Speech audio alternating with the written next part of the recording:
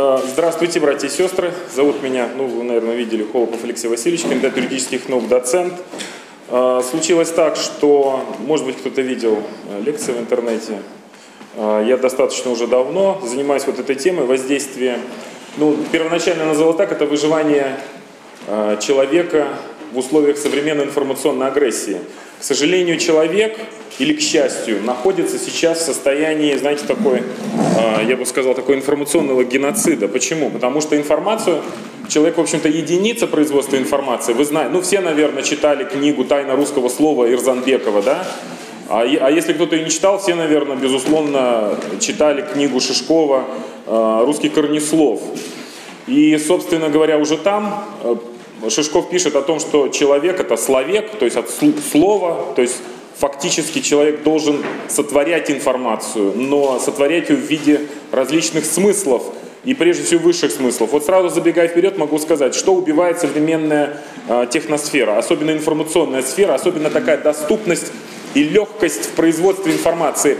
Она убивает высшие смыслы. Фактически она убила современная компьютерная среда, современная вот информационная среда, она фактически убила, выражаясь таким а, гуманитарным языком, метафизическую сферу жизни человека. Человек уже не чувствует бесконечности, человек уже не чувствует бес, бессмертия, не, а просто своей души, уже таких вопросов человек не задает. А, его закружил некоторый другой вихрь. А, собственно говоря, вот э, хотелось бы вам задать такой вопрос. Вы никогда не думали, сколько каждую секунду, или даже уже можно разделить секунду там на миллисекунды, или даже на фемтосекунды. Вот сколько каждую секунду в мире производится новой информации. Вот сейчас вот клацает затвор фотоаппарата. Вот представьте, сколько килобайт вот сейчас, или мегабайт уже на флешке. Представьте, да, сколько сейчас мегабайт вот тут же ежесекундно вот формируется. Ну, и это видеоинформация, это текстовая информация, это, это кошмарное количество различного рода информации. И, к сожалению, человек не способен в ней разобраться. Вот это первая манипуляция, первое сумасшедшее воздействие на человека, что он не способен, у него нет такой информации или у него нет такого понимания для того, чтобы не разобраться. Человек просто тонет. И знаете, что ему предложили в качестве э, методики разбирания в, этом, в, в этой информации. Его личный подход, это искушение через личную свободу, можно так назвать, что мне нравится, а что мне не нравится. Ну а вы представьте себе, что многие, э, многие, многие люди, они фактически ведут себя как дети, или вот вы на примере ребенка можете, э, это можно увидеть, когда дайте ребенку пульт телевизора и скажи, вот теперь включи, что тебе нравится, что он включит. Что оставит себе ребенок? То есть человек фактически сейчас напоминает это. А, к сожалению, научно-технический прогресс, а вот, например, то, что мы видим, ну, я вот, например, своих студентов всегда ругаю, а, я не разрешаю, например, держать смартфоны на, на столах, не разрешаю держать э, планшеты, а, вот, я сразу говорю, убирайте, вы должны все из головы, вы должны читать дома. Вообще даже называю планшет, я говорю, уберите свою форточку в ад, вот, и так далее. Ну, я шучу, в общем-то, конечно.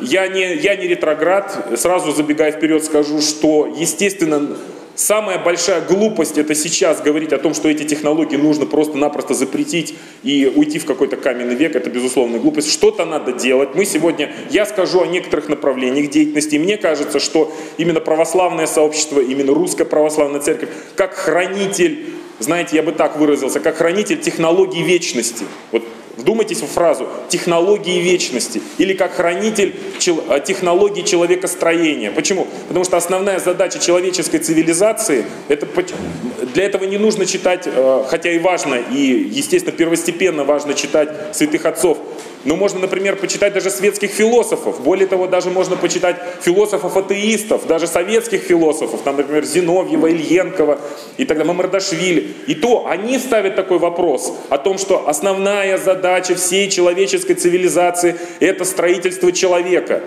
Это, скажем так, создание технологий человекостроения.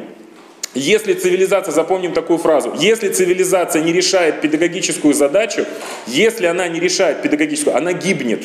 В этом смысле даже приход Иисуса Христа на нашу грешную землю можно рассматривать как педагогический акт. Представляете? Как педагогический акт. То есть он пришел сюда для того, чтобы что-то нам дать, да? научить, показать, и причем собственным примером. Высшая педагогическая идея. Вот все, что делает человек, подчинено педагогической идее. Абсолютно все. И в этом смысле, понимаете, вот у нас тут возникает вот такая вот иллюзия выбора с помощью вот э, современных информационных технологий. Ну, э, с чего бы хотелось, да, еще хотелось бы такую некоторую, может быть, как сказать, пример привести. Что такое современный человек и современное человечество с помощью, с, с современными, с, скажем так, современными технологиями. Вот что это такое? Его, его можно назвать как бабуин с бритвой. Или обезьяна с бритвой. То есть, смотрите, обезьяна может что? Она выточить палку может этой бритвы, может себе, может сама зарезаться, кого-то другого порезать. Понимаете? То есть, а, забегая опять же вперед, почему такая, такое сравнение? А, такое сравнение? Потому что огромное количество информации, невозможность разобраться в этой информации, огромное количество информации, ведет к чему? К неспособности различить. Вообще, это большой избыток информации, он убивает в человеке этику. Этика – это фундаментальная способность развлечения добра и зла. Современные молодые люди, которые поглощены, которые живут в постоянном потоке информации, постоянный прием передачи информации, постоянно постоянный прием передачи информации, они не, не способны принять сложные решения относительно до, вот это добро, вот это вот зло. Более того, современный кинематограф, более того, если вы почитаете современные статьи в интернете, кстати сказать, современные статьи в интернете это убийство русского языка. Так ведь? А что такое идентификация культуры? Вот мы, если мы строим человека, человека должна быть идентификация себя, себя с, с, с, какой, с каким-то культурно-историческим пластом, ощущение нации, ощущение Родины. А что такое ощущение Родины? Это какие-то определенные мысли, причем мысли долгие, так называемые.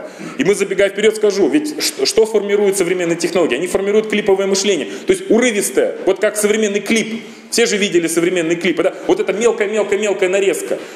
И вот этот вот избыток информации, я, например, могу сказать, степень глубины погружения в, в материал. Ведь вы посмотрите, даже вы когда, я так обличительно, ну я и себя в частности обличаю, да, вот, когда мы смотрим, например, какие-то сайты, мы довольствуемся уже не прочтением полностью статьи, а заголовками. Мы бегаем по заголовкам, то есть степень погружения нулевая.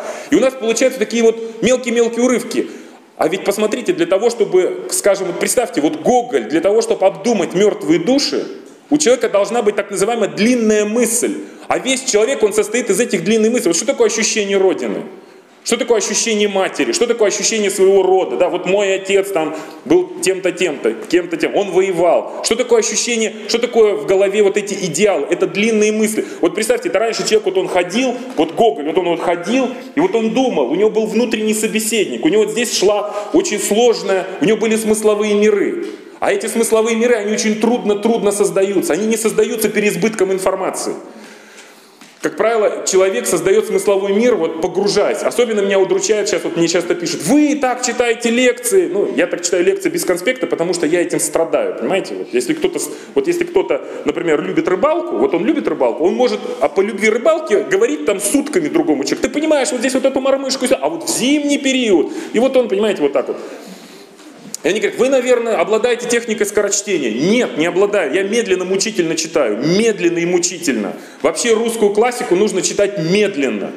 Понимаете? Скорочтение, оно убивает что? Вот в частности, что интернет убивает? Оно убивает русскую речь эти ошибки, эти примитивные обороты, он убивает вот эту поэтику, чувствование языка, понимаете, вот это вот чувствование языка, вот эту вот внутреннюю мелодию, понимаете, а это мелодика речи, у нас уже меняется речь. Вы, вы никогда не замечали на, например, тренингах, я это слово не очень даже люблю, тренинг, ну сейчас вот тренинги, да, там, или вот, к примеру, как ведут себя некоторые сектанты, особенно там, э, таких, ну я бы сказал, там, псевдохристианские, они вот выходят, и они по-русски говорят так, как будто по, не по-русски, да, Приходите к нам, и мы откроем вам тайны. Да. Вот, вот видите, да? Абсолютно, вроде бы мы поменяли поэ... Вот видите, мы, мы поменяли поэтику, вот мы поменяли, вот, скажем так, вот интонацию, и уже все. Уже совершенно другое впечатление. А вы представьте, ведь никто же не регулирует, например, не проверяет на ошибки. Никто не регулирует ничего. И поэтому современный человек, а у современного молодого человека, даже у взрослого человека наблюдается абсолютно такой кризис э, недоформированной личности, что в принципе вот здесь вот отражено в названии кризис антропологии, антропологический кризис человека. А ведь если есть кризис, он может перерасти в катастрофу. И что с этим делать? И что с этим? И, и безусловно, молодежь, она говорит, какая церковь, какая, о чем вы говорите? Почему? Они, а что такое церковь? Вот представьте, кто из вас вот к Богу пришел, когда он был взрослым человеком, и у него была какая-то мысль, и он ходил, он много лет что-то обдумывал, правда, да? Вот в голове крутилась какая-то мысль одна. Вот как сейчас у современного молодого человека будет крутиться эта мысль, если так, такой информационный шум? Просто-напросто мы создаем большой-большой информационный шум. И вот опять же, что с этим делать? Вот что с этим делать? Как, как дать человеку нечто, вот какую-то вот, вот, понимаете, вот эту вот поэзию действительности, да? Вот как человеку дать возможность почувствовать э, через вот эту бы, вечно бытовую сферу, вот, вот она, вечно бытовая сфера, да, вот она человеку ближе всего. Как ему возможно дать почувствовать ощущение вечности, вечной природы человека? Это, пожалуй, самое сложное, это высшие гуманитарные технологии. Безусловно, это технологии, которые, ну, я так примитивно, конечно, говорю технологии, это те технологии, которыми должна, должен владеть каждый христианин. Я сразу забегая вперед скажу, нам мы первые должны быть в этом, и первые во всем, и в науке, потому что нам сказано, будьте хитрые и мудрые, как и змеи. Первый, кто должен быть, не знаю, там, самые-самые люди в науке, это должны быть православные люди, потому что мы науку отпускать не должны. Но мы тоже об этом поговорим, потому что у нас наблюдается страшный кризис. У нас науки до сих пор делятся на гуманитарные и, естественно, технические. Забегая вперед, да не забегая уже вперед, так скажу. Вы думаете, природа, она изначально упорядочена или она упорядочится по мере открытия нами законов природы? Она изначально упорядочена. И мы науки делим, вот мы науки делим для того, чтобы нам было, э, скажем так, э, удобно изучать, ну, скажем так, я как верующий могу сказать, замысел Творца было удобно изучать замысел Творца. В этом, в этом отношении даже Ньютон, когда он открывал какой-то закон, он восклицал, наконец-то я еще понял, я еще понял промысел Творца, промысел Божий. Я еще понял на какую-то маленькую частицу. Представляете? Вот так вот говорил Ньютон. Ну, собственно, я сейчас приду, перейду к основной части, да, я буду много там рисовать и показывать. Значит, все заключается в одном. У человека есть две сферы. Мы вообще человека будем рассматривать в двух сферах. Вот есть для того, чтобы нам структурировать, вообще методология моей, а, моей мысли, она зиждется на системном подходе. Системный подход, э, ну это фактически теория систем, теория управления, теория информации, это академические теории, на которых фактически познает наука весь окружающий мир. Вот человек фактически он существует в двух сферах. В двух сферах. Вот это вот а, объектно такая бытовая сфера, сфера, то есть это вещи человека, это вещи человека, это еда, например, да, это вот его комната, его кровать, его автомобиль. И вот он взаимодействует, а, он взаимодействует с с этими вещами. И другая сфера, огромная, это ее можно назвать так, это метафизическая сфера, сфера метафизики. Вот если это физика, да, то есть это человек, вот, например, он подошел горячей плите, тронул и обжегся. А это сфера метафизики, то есть то, что за пределами физики, иначе сфера высших смыслов. Ну, не буду говорить, высших, высших смыслов. Вот что здесь? Здесь находится культура, здесь находится история, здесь находится искусство, здесь находится, в частности, наука, но все, но очень... Э, здесь находится представление о смерти человека. Это есть такие философские категории, философская категория здесь и философская категория там. Это еще пошло с первобытного мышления человека, когда человек, вот, собственно, отделял. Вот там, вот он говорил, да, вот там вот находится что-то страшное. Или вот понятие у греков айкумены за пределами айкумен. И вот, если брать развитие человека, да, вот на определенном, на определенной линии истории, говорят, например, премодерн, модерн и постмодерн, то, к примеру, человек еще в премодерне, и он преимущество, вот я вам задаю вопрос, скажите, пожалуйста, да, кстати, вот здесь вот метафизическая часть, она фактически подчинена чему? Потому что кто родил культуру фактически, да, соответственно, искусство и так далее. Вот здесь вот огромную роль играет религия. Почему? Потому что она в себе систематизирует э, и э, объединяет представление о вечности, она объединяет все представление о смерти, да? Вот она все это объединяет. Об, об истории, она все это объединяет. Здесь вот находятся, кстати сказать, идеалы, герои, вот здесь все находится. А теперь представьте себе, скажите, пожалуйста, где должно находиться сознание человека? Вот так вот, вынесем за скобки. Сознание человека, где должно находиться? Вот здесь или вот здесь? Она должна находиться вот здесь, да? И вот история, вот человек вот здесь вот, вот раз, да? вот возьмем, даже вот здесь вот человека возьмем, первобытного вообще чуть ли возьмем человека, да? мы будем пользоваться, знаете, такой, такой ползучей наукой. Там бином Ньютона, да? Вот здесь вот, например, возьмем, запомните, а, в истории, в антропологии истории было исследование, ну, например, Дженджус Фрезер к нему относился, там и Тур Хирдал, у него есть очень интересные по, этому, по этой тематике рассуждения. Пытались, э, когда суммировали, когда собирали систематизированную информацию о всех племенах на Земле, вообще о всех племенах на Земле, там от племени Дагонов, Кичуа, э, там Масаев, абсолютно все вот собирали, да, и всю информацию. Оказалось, что на Земле нет ни одного, ну, наверное, вам это говорит, нет ни одного атеистического племени, вообще. У всех племен есть очень сложное представление, у них вообще-то у всех есть представление о каком-то загробном мире и сложное представление о космогонические такие представления о формировании этого мира. Вот очень сложно. Соответственно, представьте себе, вот сначала вот сознание человека, оно находилось вот здесь, оно находилось совсем вот здесь. А потом, когда человек... А это что значит? Вот что мы нарисовали? Это фактически вот здесь еще научно-технического прогресса нет. Палку или биту из кости еще нельзя назвать научно-техническим прогрессом. Так? Научно-технический прогресс – это создание неких, некой параллельной технической системы.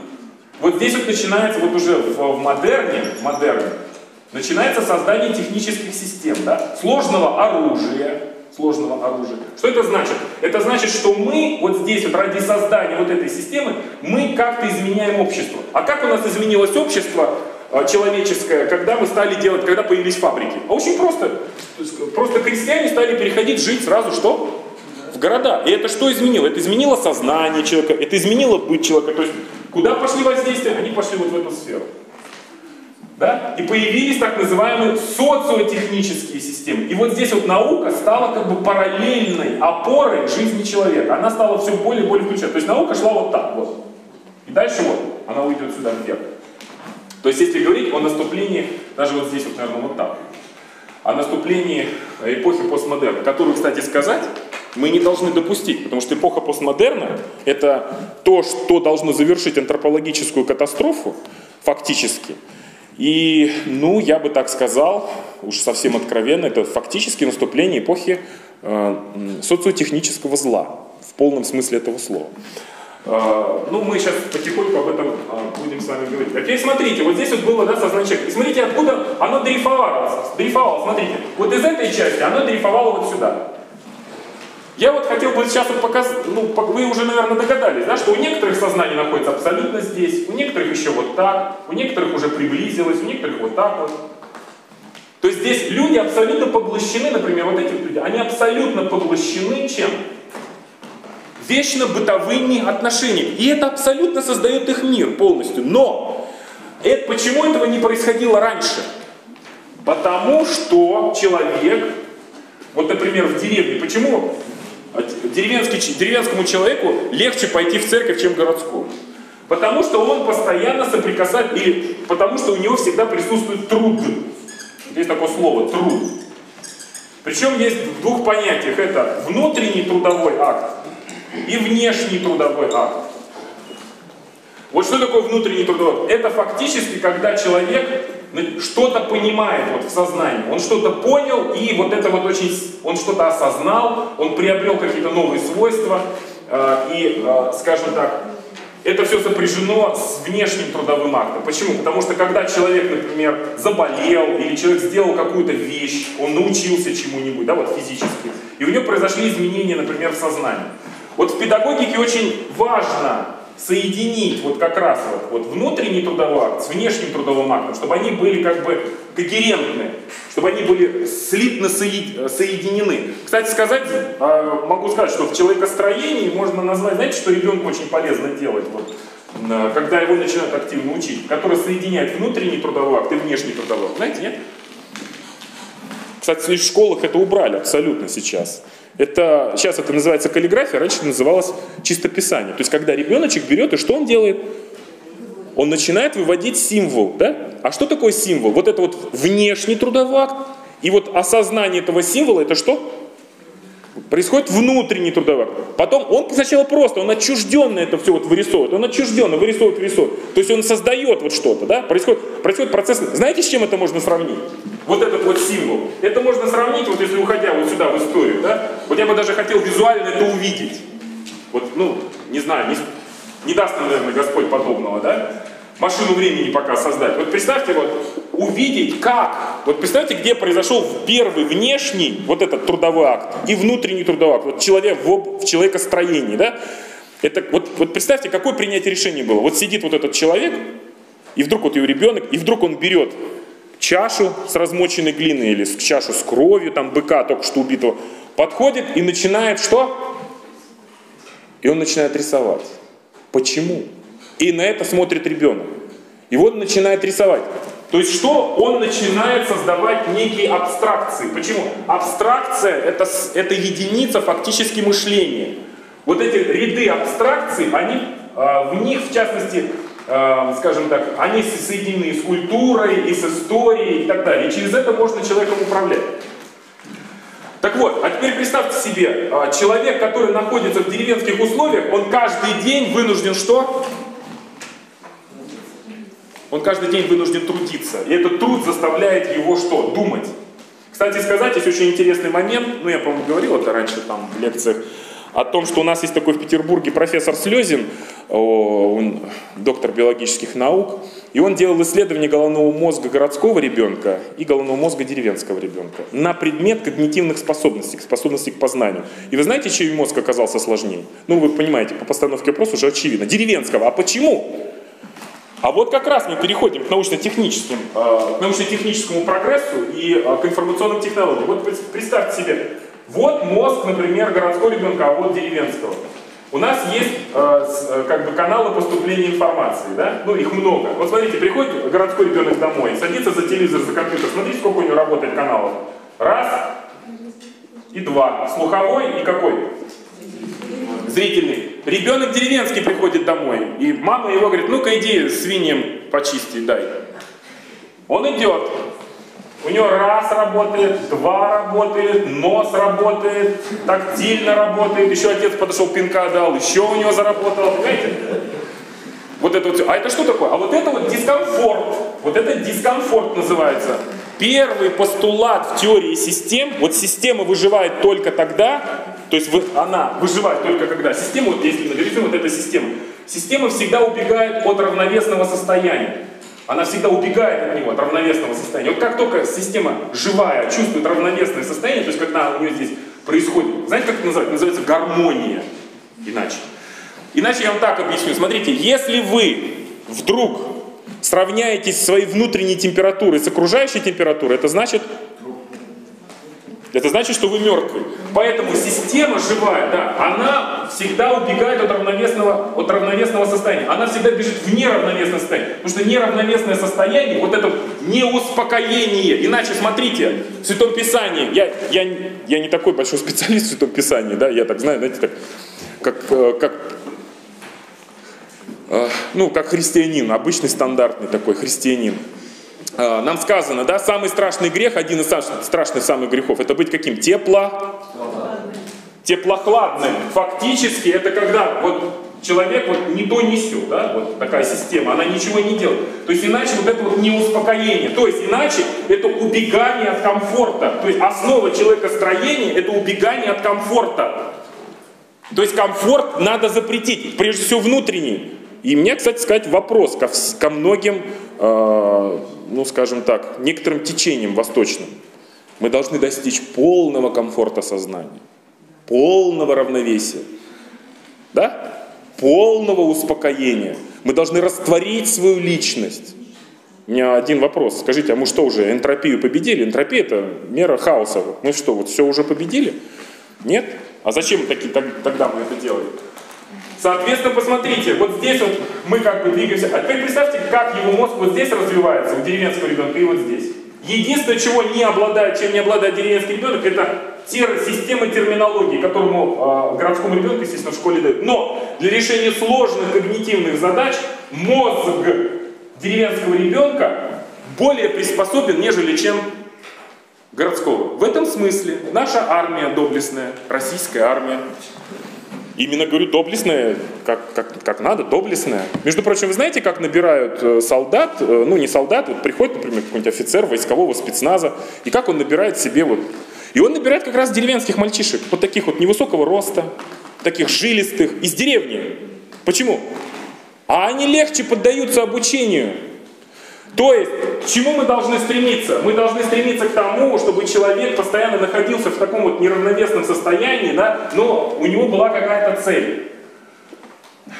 Относительно, кстати сказать, э, конкретно зари средств массовой информации, когда Геббельсу показали э, первое телевидение, а между прочим, вот если вы программную сетку сейчас откроете, то вы знаете, что всю программу передач сформировали еще немцы. Э, по-моему, там год какой-то сороковой и так далее. Это все у них было. У них были вот эти первые телевизионные передачи. И вы в курсе, что, например, первый телевизионный сигнал, улетевший с планеты нашей, вот если есть инопланетяне, они первый сигнал, знаете, какой поймают?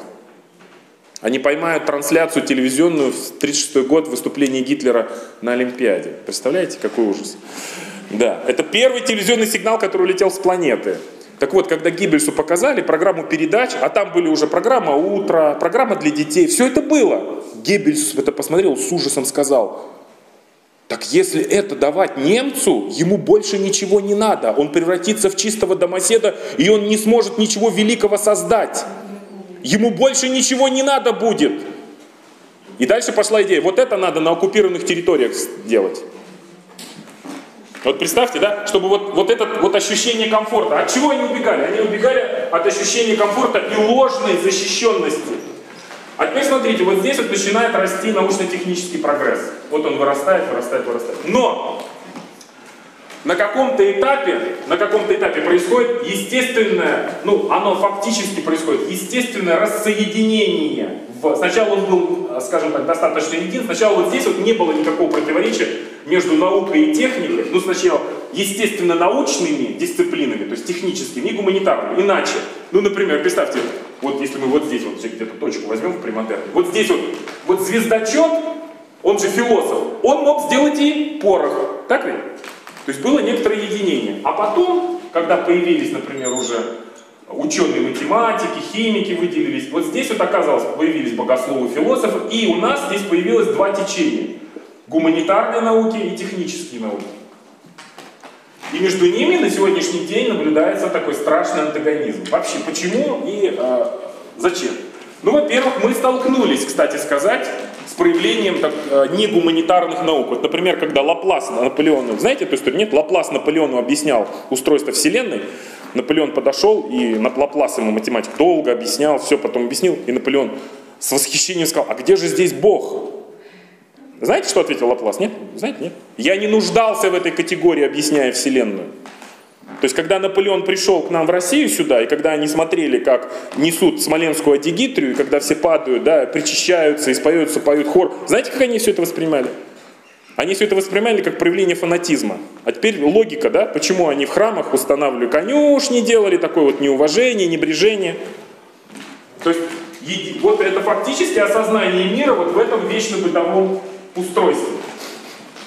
Но э, тут еще не ясно, а почему же вот информационные технологии так сильно влияют? Это еще, скажем так, пока вам отдаленно непонятно. Да? И теперь смотрите, что происходит. Соответственно, сформировалась гуманитарные науки, сформировались и технические науки. Технические науки вырвались вперед. Почему? Потому что человек, естественно, всегда, супротив вот этому, он куда стремится? К покою, да? Чтобы ему было тепло, чтобы ему было не скучно, чтобы, ну, хлеба и зрелище, в общем, да? Рим никто не отменял. Падший Рим никто не отменял. Да, и Египет в том числе. Значит, э, и вот человек, вот он стремится некому комфорту. И вдруг наука ему начинает давать этот комфорт. Вот здесь вот развитие технических наук, да, фабрики, производство, автомобили. И вдруг, вот это, кстати, очень хорошо описал Станислав Лем в сумме технологий. Значит, вот здесь вокруг у человека есть очень много угроз. Болезни, холод, голод и так далее. Так далее. Какие угрозы? А наука, она брала и закрывала бреши. Вот эти вот. Она ему дала микроволновочку, посудомоечную машину, такую машину там, э, стиральную, вот это, вот это, вот это, вот это. У меня бабушка всегда говорила, чего вы ругаетесь? Смоленск деревне Петрополе, она смолянка, пережила войну, деревенская женщина. Она всегда говорит, чего вы ругаетесь? Вот она говорит, у вас чайник сам отключается. Она ну, она так говорит, чего вы ругаетесь? Чайник сам, о, это его отключается. Вот его к телевизору идти не надо, вот, вот сидишь, вот, вот. Вот она абсолютно не понимала, вот как, вот, вот у вас же все уже есть, чего вам еще надо? Понимаете, такой абсолютно нормальный человек. И вот смотрите, наука, она закрывает вот эти бреши. И, то есть что она создает? Она создает технологический кокон. Мысль Лема в чем была? Он, он в 60-х годах написал это философское эссе. И он сказал, смотрите, вот сейчас, где-то в 60-х годах, человек еще интересовался наукой. Он бредил космосом, да, помним? Он уважал, он уважал астрономов, физик это был, знаете, как такой, вы физик, вы кандидат, кандидат, доктор наук, это все. Это небожитель был, да, доктор наук. А теперь смотрите, Елен вдруг говорит, подождите, пройдет немного времени, и человек лет так и через 30-40, он будет презирать науку и не будет ей интересоваться. Лему говорит, дурной, ни такого не будет никогда. А Лем что? А он сказал очень просто, когда наука закроет вот эти все технологические бреши и создаст внутри вот этот вот вечно бытовой что? Хаос. Комфорт? А скажите, пожалуйста, нет, это не хаос, это еще такой достаточно, это комфорт, можно сказать, да. Смотрите, а знаете, почему человек вот здесь был? Потому что вот на этом этапе, вот на этом этапе человеку приходилось как-то себя успокаивать, свое сознание. Вот ему было холодно, да? Или урожай не взошел, да? Урожай, например, не взошел. И человек это должен был как-то объяснить. Как он это объяснял? Он объяснял это вот здесь, вот так? Я, может быть, согрешил, может быть, еще... Но, но когда, кстати сказать, появился вот этот кризис религии? Религия не успела отреагировать. Почему? Потому что вдруг наука стала очень быстро развиваться, и она вдруг стала объяснять, что вот молния это вовсе не Бог. Это вот просто электричество. Понимаете? Это, я не понимаю, это подтверждение или, или, или мне предупреждение? Да. Дальше, значит, а то, что у него урожай не взошел, так это засуха, да, а то, что вот дождь можно там предсказывать, это все, да, там прогнозировать.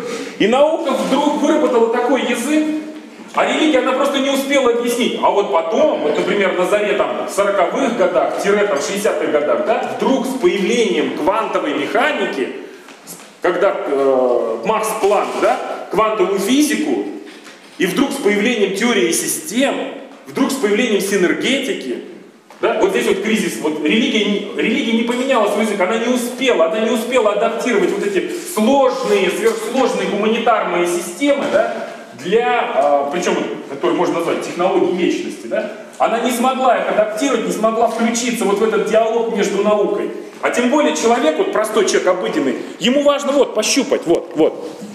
Для того, чтобы разбираться вот здесь, вот здесь вот разбираться, вот в этой системе, и жить, вот чтобы была вот здесь вот эта вот жизнь, вы представляете, какой, какой образованности должен быть человек?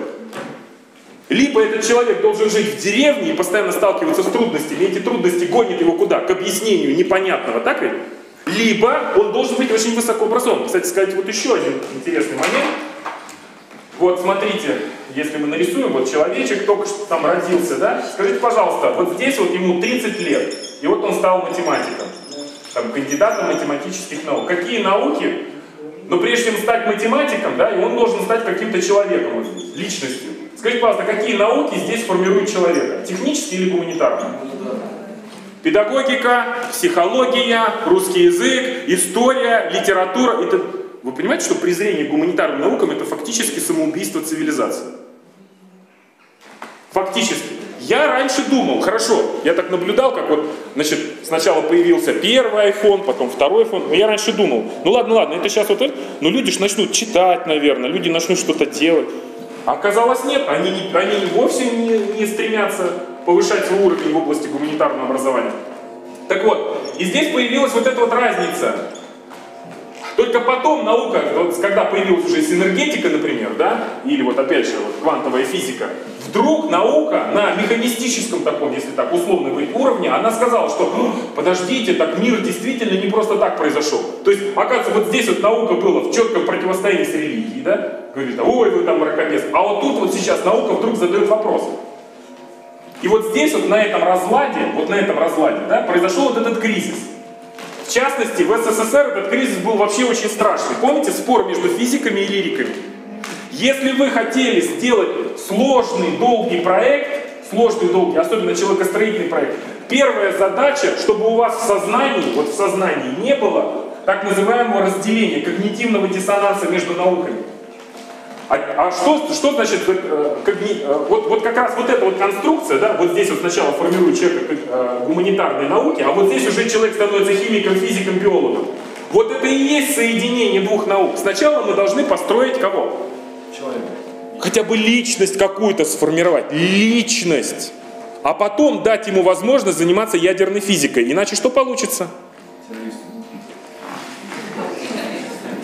Ну там тоже сложная система у них, да, но тем не менее. И а сформировался вот этот вот когнитивный диссонанс, вот спор между физиками и лириками. У меня вообще подозрение, что его сделали специально, то есть рассоединили. И даже в СССР, например, была такая, была такая, например, говорили так, что статья без формул это вообще не наука. И даже философы умудрялись какие-то формулы писать. Понимаете, вот они умудрялись какие-то формулы писать. Там, я помню, вопросы философии просматривал. И вот там были какие-то формулы. Да? То есть чистая э, такая гуманитарная наука, говорящая о сложных вот, мировоззренческих системах, мировоззренческих системах, она перестала работать фактически. То есть вот и появилось, э, скажем так, вот создание как бы двух против, противостояний. Объектно-вещевой айкумены, да, и с, вот с этой вот метафизической. То есть фактически их включили в такое э, противостояние. Теперь дальше что происходит? Значит, вот здесь вроде бы замечательно, но как бы наука уже техническая поставила вопрос, а что, собственно говоря? То есть мир не произошел просто так, но уже в каком-то смысле поздно. Почему? Потому что случилось самое страшное. А страшное случилось больше. Дело в том, что вот это вот так вот развивался человек, вот так вот развивался человек, а вот так, ну это вот время развития, а вот это степень. А вот так вот развивались науки, технологии. Вот смотрите, сначала, например, человек, вот это были механические какие-то средства, вот здесь вот паровой двигатель, а вот здесь вот уже, например, двигатель внутреннего сгорания, вот здесь вот станок уже произведен, да, вот здесь вот произведен самолет, вот реактивный, вот так, вот так, вот так. А вот здесь вот уже что происходит? Здесь происходит появление так называемых компьютерных технологий. Почему? Смотрите, простой человек, простой человек, он не то, чтобы некоторые люди вообще не умеют пользоваться, э, скажем так, вы знаете, да, что пожилые люди, они, например, не особо умеют пользоваться планшетом, да? То есть они как бы отчуждены от этого. Но в чем еще находится, заключается отчуждение? Оно заключается в том, что вы попробуйте молодого человека простого спросить, а как работает планшет? Ну вот я, например, кто сюда поставил вот эти вот прелестные диктофоны? Я спрошу, а ну-ка объясните мне, как цифруется звук? Как происходит вот, вот переход аналоговой стадии да, в цифровую? Как это происходит? И он не знает. То есть фактически для вас это магическая коробочка. Да? А, то есть смотрите, вот здесь вот мы, смотрите, до чего доходим. То есть, посмотрите, оказывается, вот здесь вот человек, он вот это вот все, вот эту метафизику представлял еще не как религию, да? Не было такой системы. Здесь было такое магическое восприятие, магия. Или иначе это все называлось мифологическое мышление. Мифологическое мышление. Что такое мифологическое мышление? Мифологию, мифологическое мышление уничтожила религия. Когда пришла религия, она поставила главный вопрос, хорошо или плохо. Вот религия, э, например, религиозные догматы, они ввели в человеческую жизнь, в человеческое сознание, этику. Вот достижение религии в гуманитарной действительности, вот прежде всего – это что? Это вот когда вот здесь человек начинает мыслить категориями хорошо или плохо. А в мифологии, в мифологическом мышлении, например, в античности, не было такого понятия хорошо или плохо. Или оно было в таком зачаточном состоянии? Очень просто объясняю. Ну съел Сатурн своих детей. Ну съел. Ну кто-то спрашивает, это хорошо или плохо там. Там кто-то задается этим вопросом, нет? Не задается, нет? Ну украл Зевс Европу. Но я не буду объяснять, что дальше он там делал. Да? Никто ж не задается вопросом, хорошо, это, как это в бытовой сфере было? В бытовой сфере это было очень просто. Мама могла отправить, например, своих сыновей на, э, не знаю, там, на соревнования. Один сын там проиграл, она в расстройстве могла его убить. И никто маму бы не осуждал. А вот здесь, а теперь представьте, значит, скажите, пожалуйста, а как вот здесь вот молодой человек теперь, отчужденный от этого восприятия и воспринимающий свой планшет фактически как магию, как сейчас воспринимает вот этот планшет? Вот эти сети, они что, вы что думаете, они реально понимают, что вот Google это вот некий искусственный интеллект, когда вы просто набираете в поисковик Google, это фактически работает искусственный интеллект. Вот, и он, вы думаете, это все вот так вот они механистически воспринимают? Вы знаете, это Артур Кларк, фантаст, написал. Он сказал, что если не учить человека, то, то есть не повышать образовательный ценз, то что происходит? Он начинает технологии, это пример, знаете как, вот представьте, мы слетали на машине времени и привезли сюда Пушкина. Вот привезли сюда Пушкина. И идем с ним по Москве. Зашли в кафе. И он вас видит. И вы там растираете свой потожир по стекляшке так. Значит, да, вот так растираете, да? И он видит, знаете, ваши лица озарены таким, знаете, сиянием, там какие-то картинки мелькают. И Пушкин, ну, у него, во-первых, у него будет культурный шок. Во-вторых, он на вас всех по умолчанию начнет, какие вы все умные, вы управляете такими вещами, да? Но вопрос в том, что Пушкин знал несколько языков, он мог там, да, рифму извлекать, он мог описать свои любые состояния. Понимаете, да? Что вот он, он знал историю, это он на самом деле мы тупые, а это он умный, да? И он как эту будет стекляшку воспринимать? Он ее будет воспринимать как что? Ну, я не буду. Он ее будет, свет мой зеркальце скажи, да всю правду доложи, я на свете всех милее, да? Такое надкусанное яблочко только катается, да? Вот, а, всех румянее и белее. Так вот, он будет это воспринимать фактически как магию. Я вот своим студентам много раз говорю, я говорю, хотел бы я на вас посмотреть, когда вас резко, знаете, сейчас фильмы такие есть, берут со времен человека и в прошлое. Да, там, какие-нибудь средние века. Я говорю, с вашим планшетом во времена инквизиции, вот вас поймали.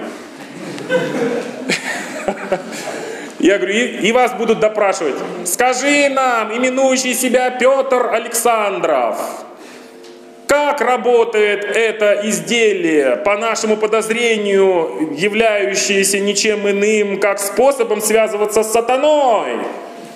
Видите, даже такую обвинительную, такую, видите, такую, да, интонацию употребляю. И вдруг вы смотрите, а вы вдруг смотрите, и вы так краем глаза, Галилей.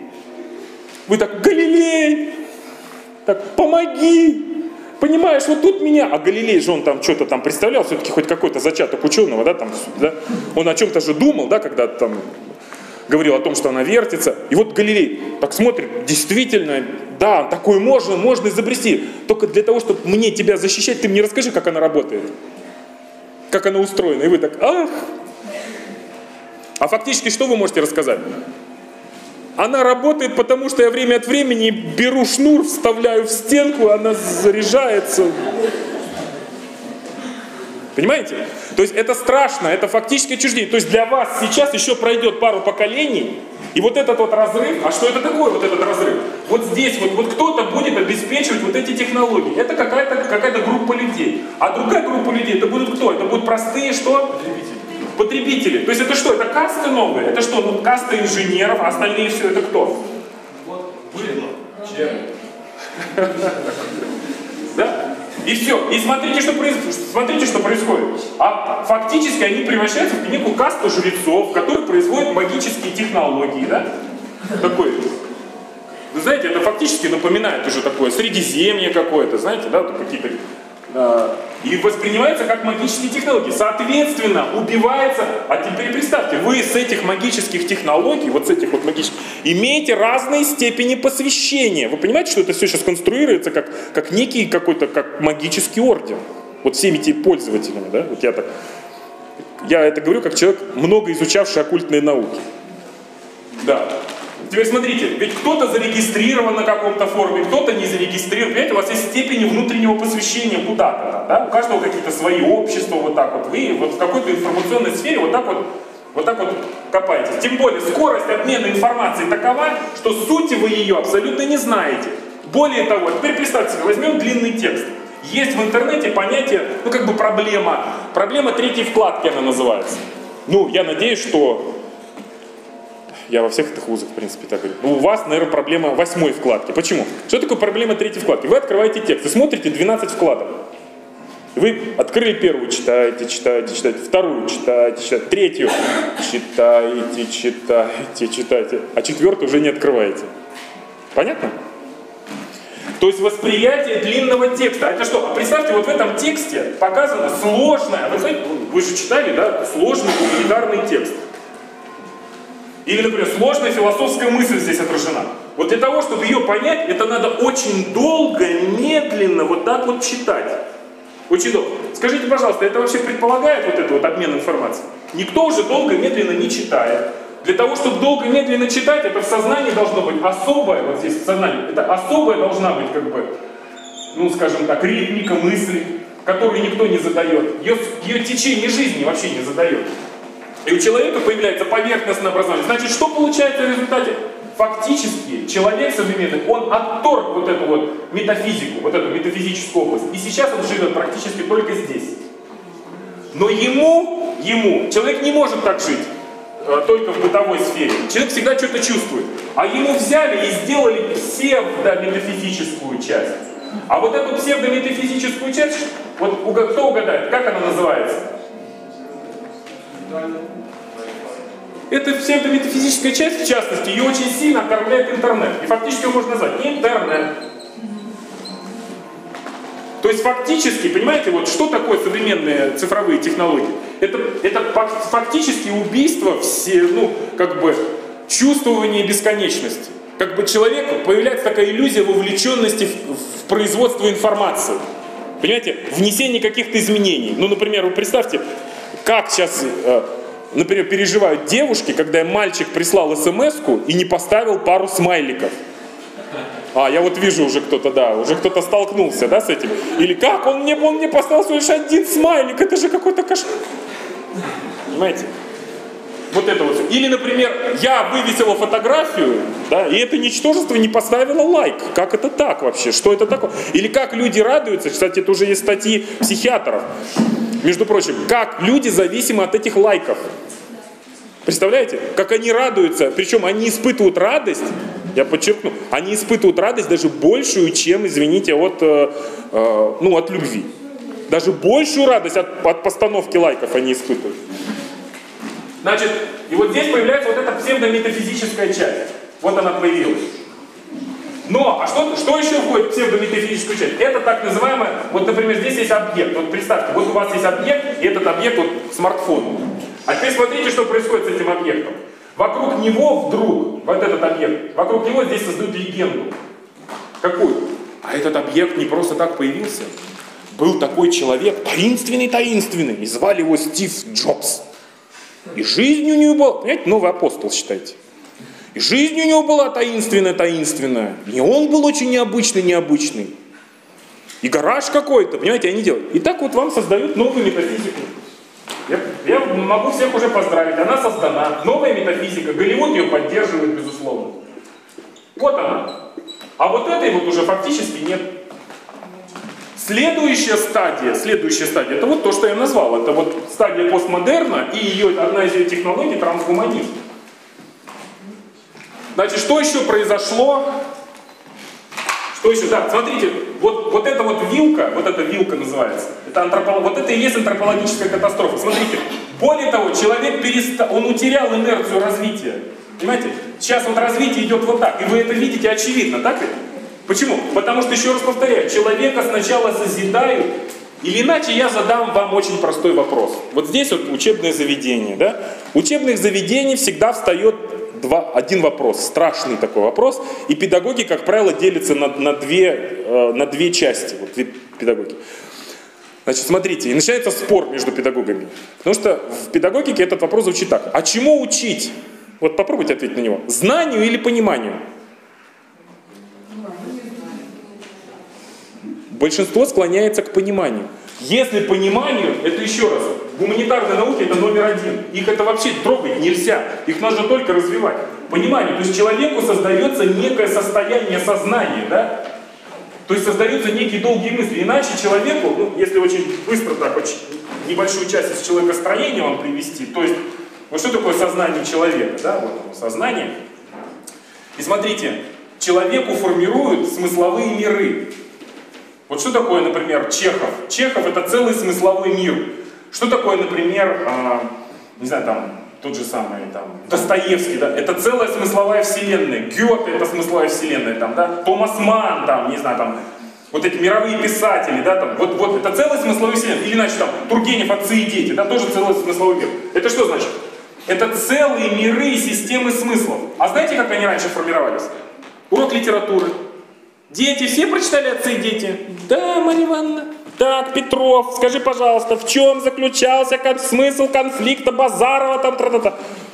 Он вставал, ну, смысл конфликта Базарова, помните, да? Советская школа. А сейчас, сейчас наоборот, у нас хорошие уроки. Да, сейчас литературу читают дети вроде бы как больше. Обсуждают, вообще не обсуждают. А что такое смысловой мир? А что такое попытка создания смыслового мира? Это значит, что у вас не здесь не просто вот эту книжку я прочитал, и там типа об этом говорится. Ну, что значит? Вы знаете, сейчас есть уменьшенная версия войны и мира. Есть прям кратенькая такая, как брошюрка. Уменьшенная версия. Вот представьте, просто сделать галочку себе поставить. Вот я прочитал. Ура! Да? А теперь смотрите, а здесь-то что попытались, пытались сделать? Здесь пытались ваш, ваше сознание сделать динамическим, не статическим, когда вот вы прочитали, вы это знаете. То есть вы ребенку что пытаетесь объяснить? Вот если вы, у вас статическое сознание, да? Вот ребенок говорит, папа, почему так? Или мама? И вдруг ребенок, и вы ребенку объясняете, ну ты понимаешь, я вот когда-то книжку почитал, ты подрастешь, тоже ее прочитаешь. Это статическое, то есть отец даже объяснить не может, а динамическое. То есть когда вам сформировали, запустили ваши мысли, да, и вот эти мысли идут, и вы успокоиться не можете. Понимаете, у вас вот эти мысли тут о Гёте, да, вот, вот, так, вот здесь вот об этом, об этом, вот так вот это крутится. У вас какие-то вопросы жизненные, да? И дальше вы говорите, и вот разговор, например, всегда бывают такие сложные разговоры родителей, там, отца, сына, там, матери с дочерью. Ты понимаешь, не все так просто. Вот я тебе могу рассказать одну историю, да, и вы так, и начинаете такую вести беседу. А вся наша жизнь это вот беседы и формулировки. Вот вся наша жизнь это беседы и формулировки. Где-то удачные, где-то неудачные. Да? И вот так вот, вот, вот это всё. А теперь представьте, это же какое-то медленное чтение, это какое-то ощущение.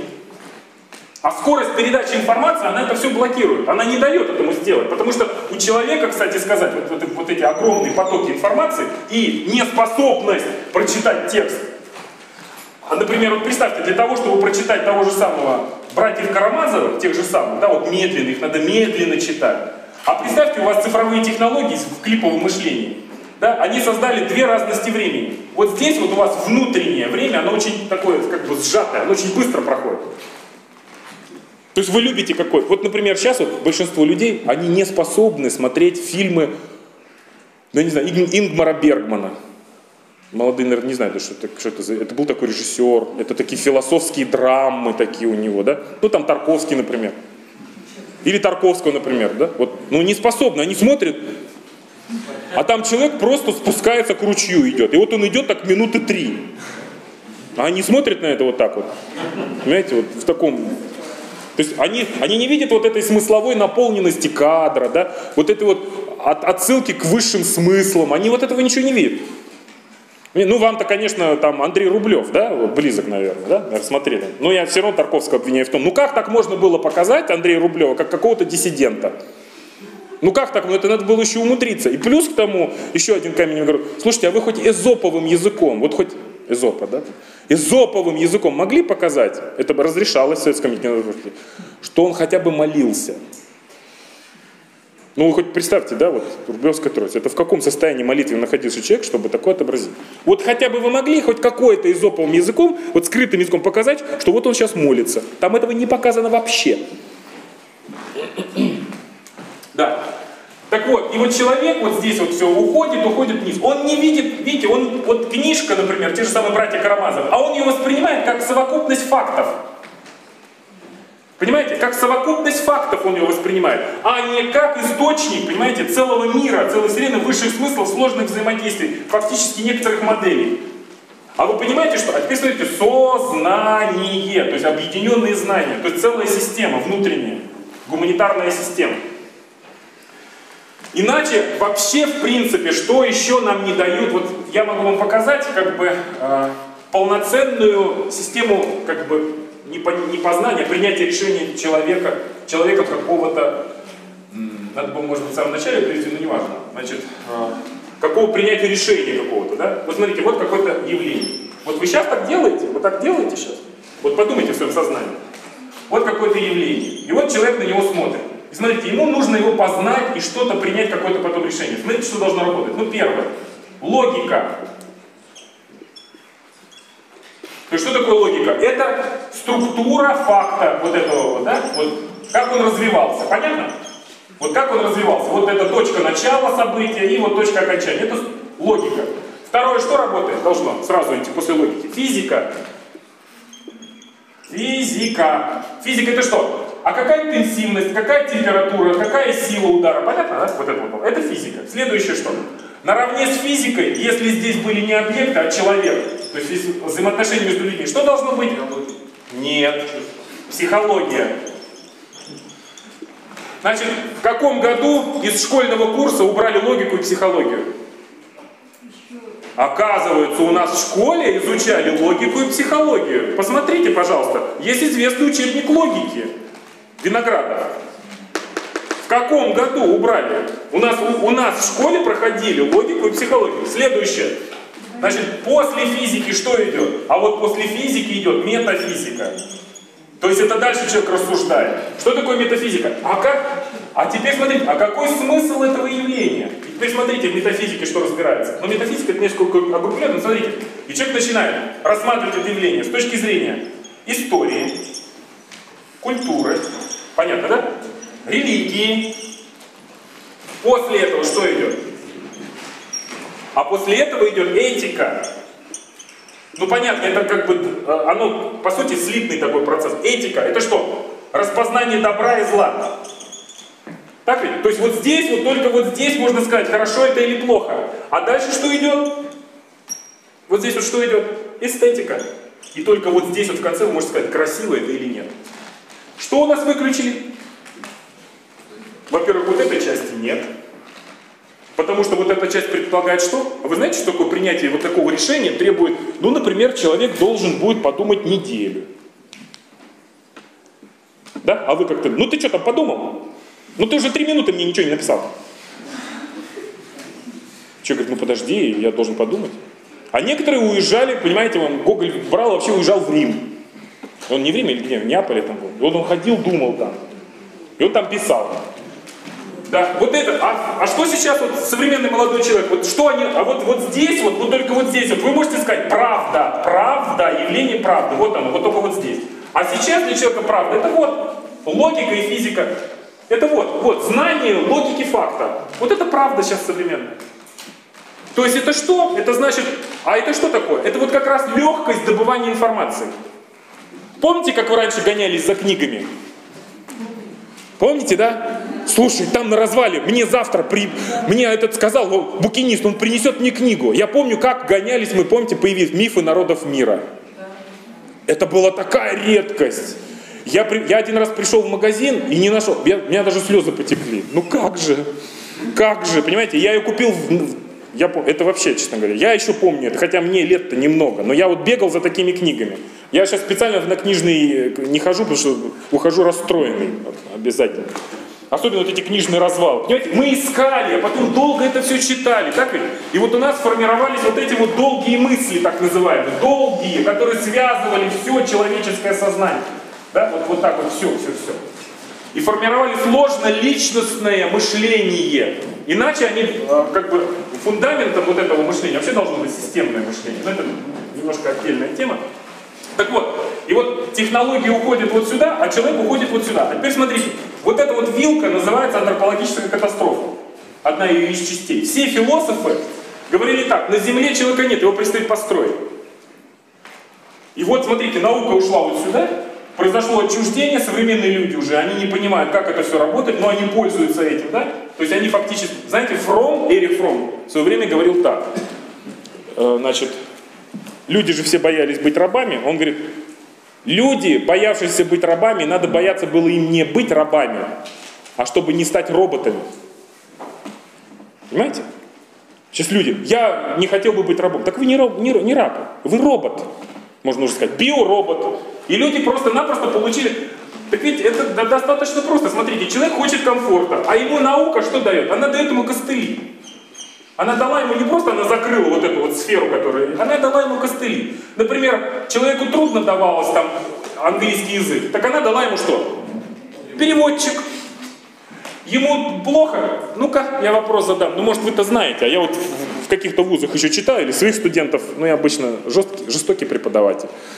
Вот, э, я спрашиваю, чем пахнет каталог в большой публичной библиотеке? Такая пауза, они говорят, что, клавиатура, что ли, пахнет? Чем пахнет каталог? Это вот, знаете, вот такие, вытаскиваешь на полкилометра вот такую дощечку, ну, такой ящик, и начинаешь вот так. И находишь такую красивую дореволюционную карточку, где каллиграфическим почерком вот так вот нарисован, ну, написан, да, какая-то литература. То есть человеку дали поиск технологий, поиск, быстрый поиск информации. Ему не... А смотрите, ведь информация, значение информации, оно, оно для человека имеет в виду, что вот это тут длина поиска информации. Вот человек вот здесь, и вот он искал, искал, искал, искал, искал, и наконец-то он нашел. И вот такой путь у него был ломанный к этой информации. И вот он нашел эту информацию, вот он ее нашел. Вы знаете, как в сознании эта информация, какую ценность будет вот эта информация в сознании человека, так ведь? А сейчас? Да будет проклят буфер обмена. Да? Всемирная секта Ctrl-C, Ctrl-V. Понимаете? Всемирное движение Ctrl-C, Ctrl-V.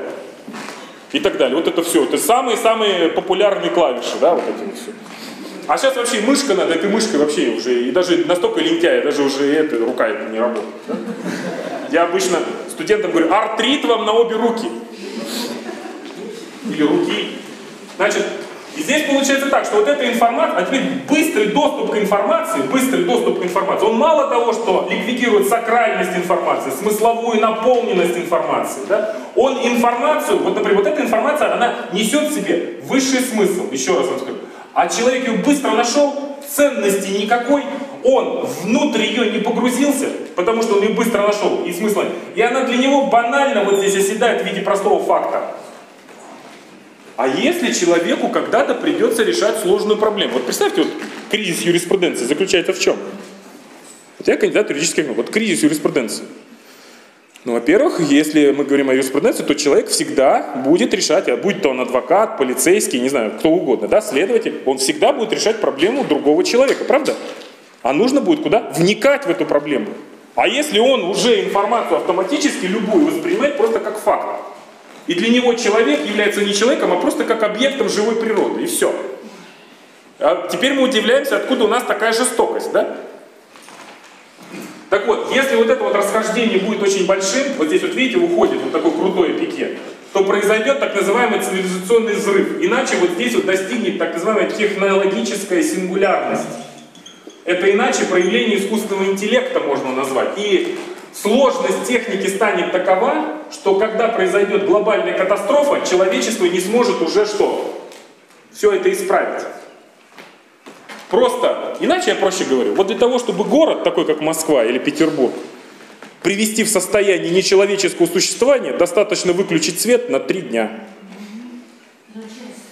Да можно и на час. Я, кстати, у нас в Петербурге было такое. На Петроградке на несколько часов выключили электричество. Это было где-то лет пять назад. И показывают, значит, вот фильм «Апокалипсис», значит, журналисты и люди выходят на улицы такие. Страшно ведь, ну, понимаете, ужас какой. Телефон не работает, кофемашины не работают. Понимаете, не работают, светофоры не работают.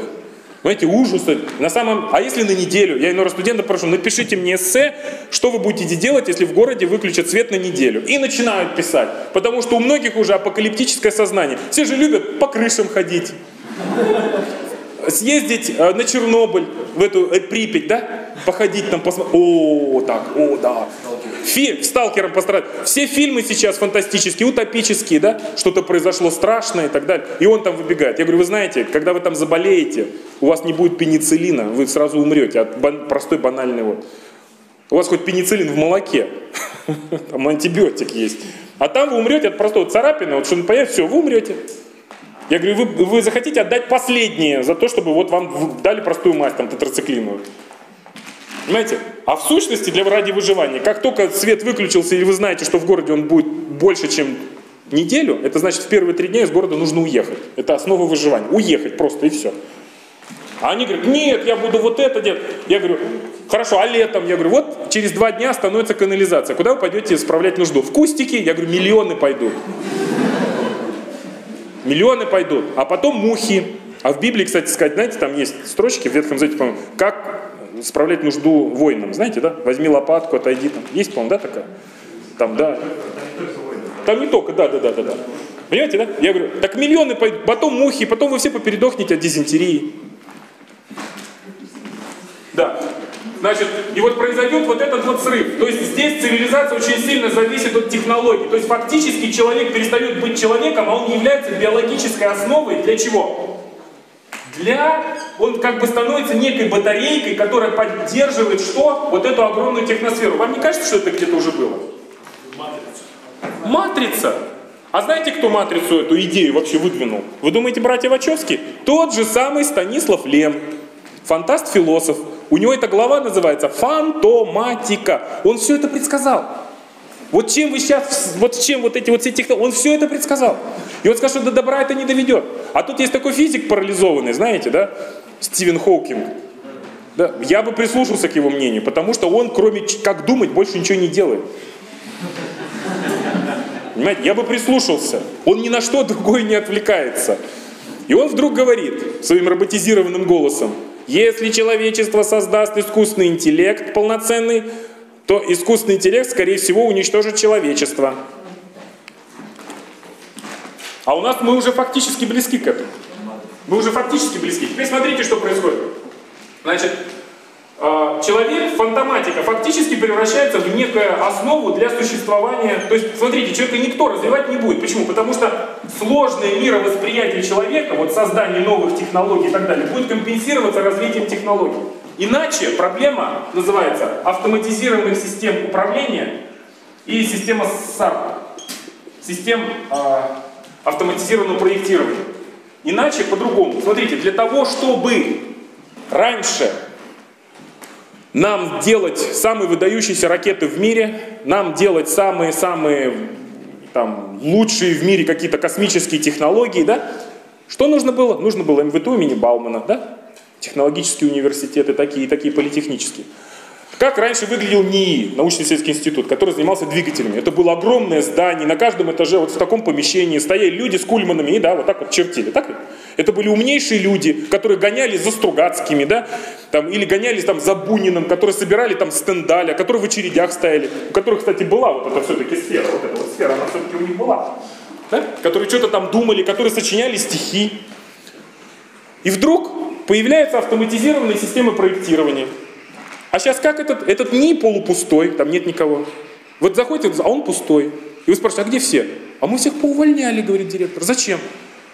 Ну, потому что вот, и он при, приводит, и весь институт, раньше институт это было тысяча человек, например, или две, или три тысячи человек, а он приводит в зал какой-нибудь, вот наш весь институт, и там сидит 30 человек, мальчиков, за компьютерами, и, и занимаются 3D-моделированием. Так?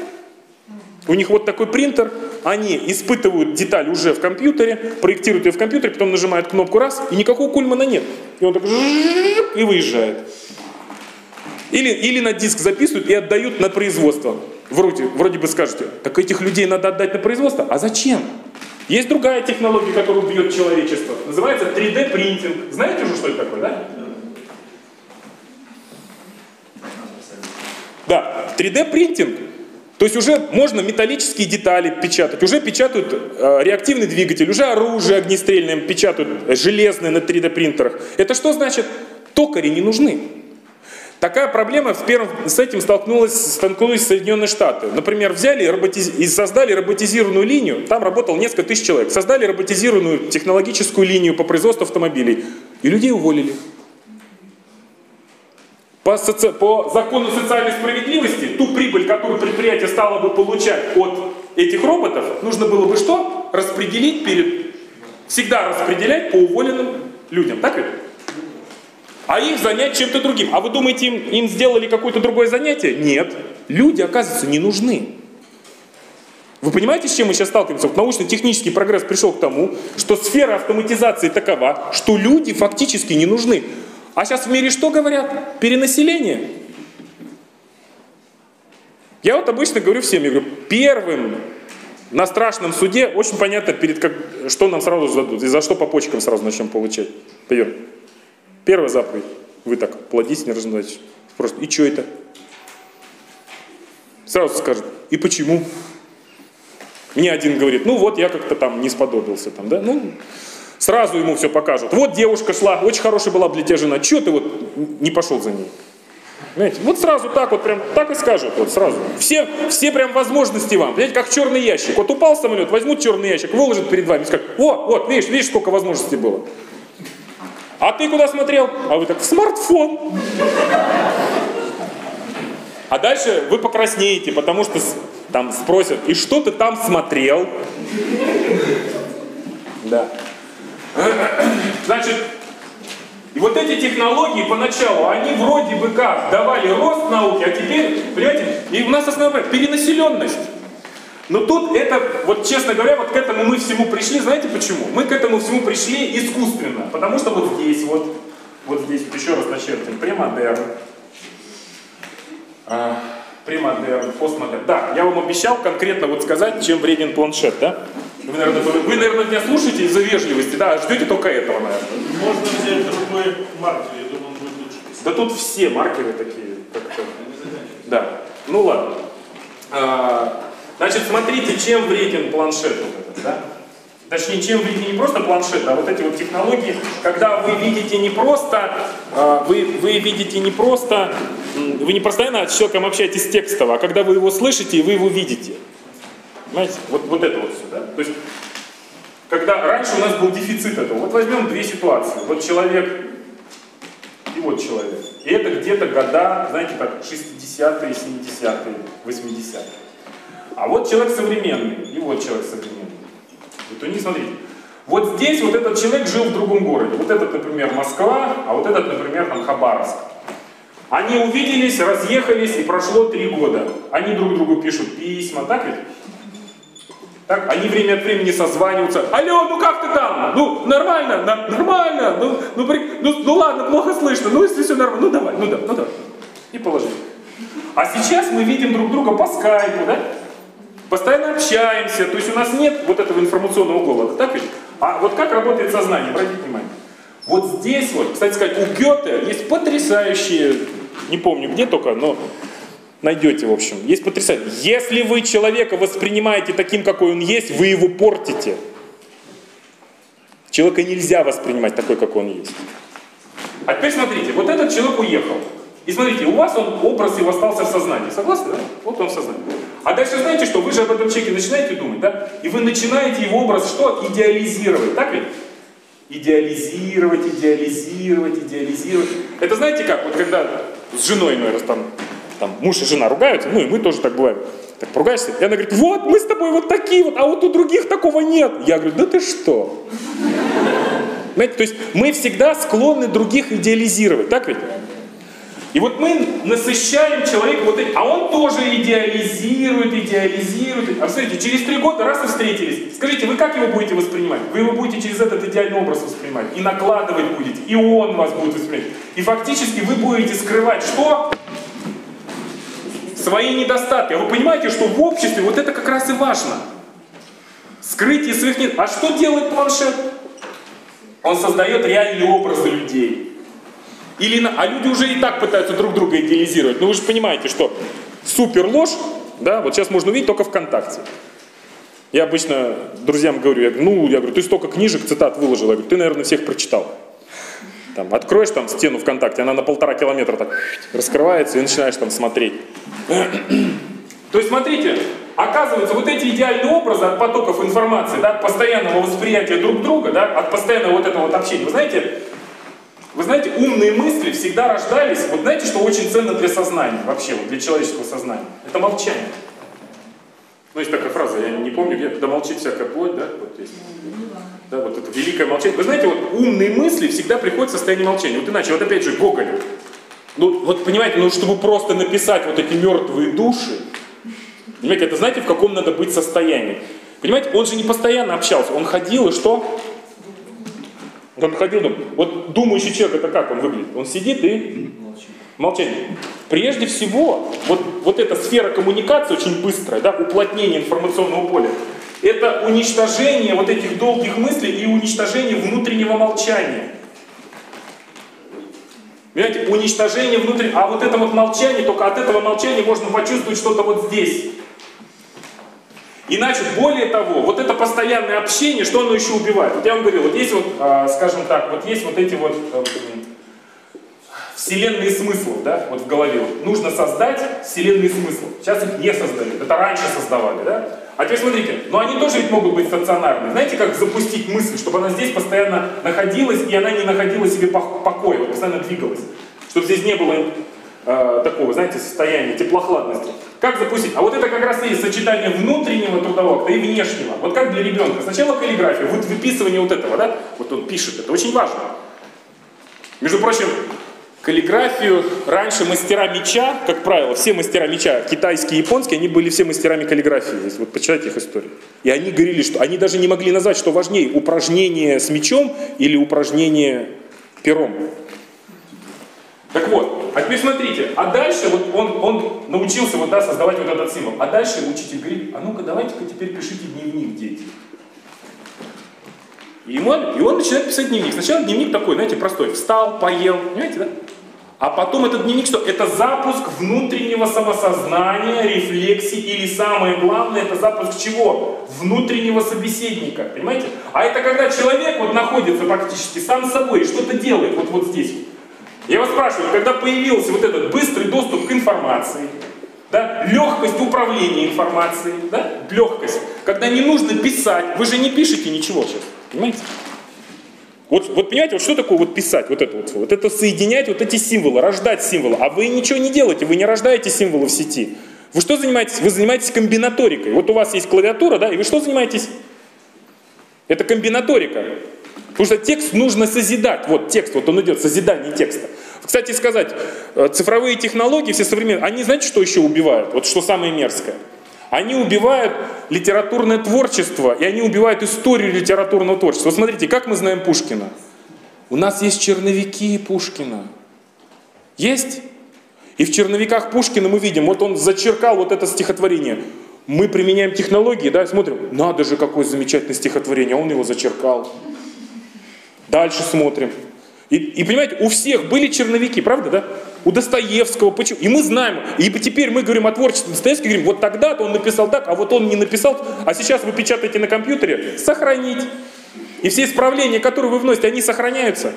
Да.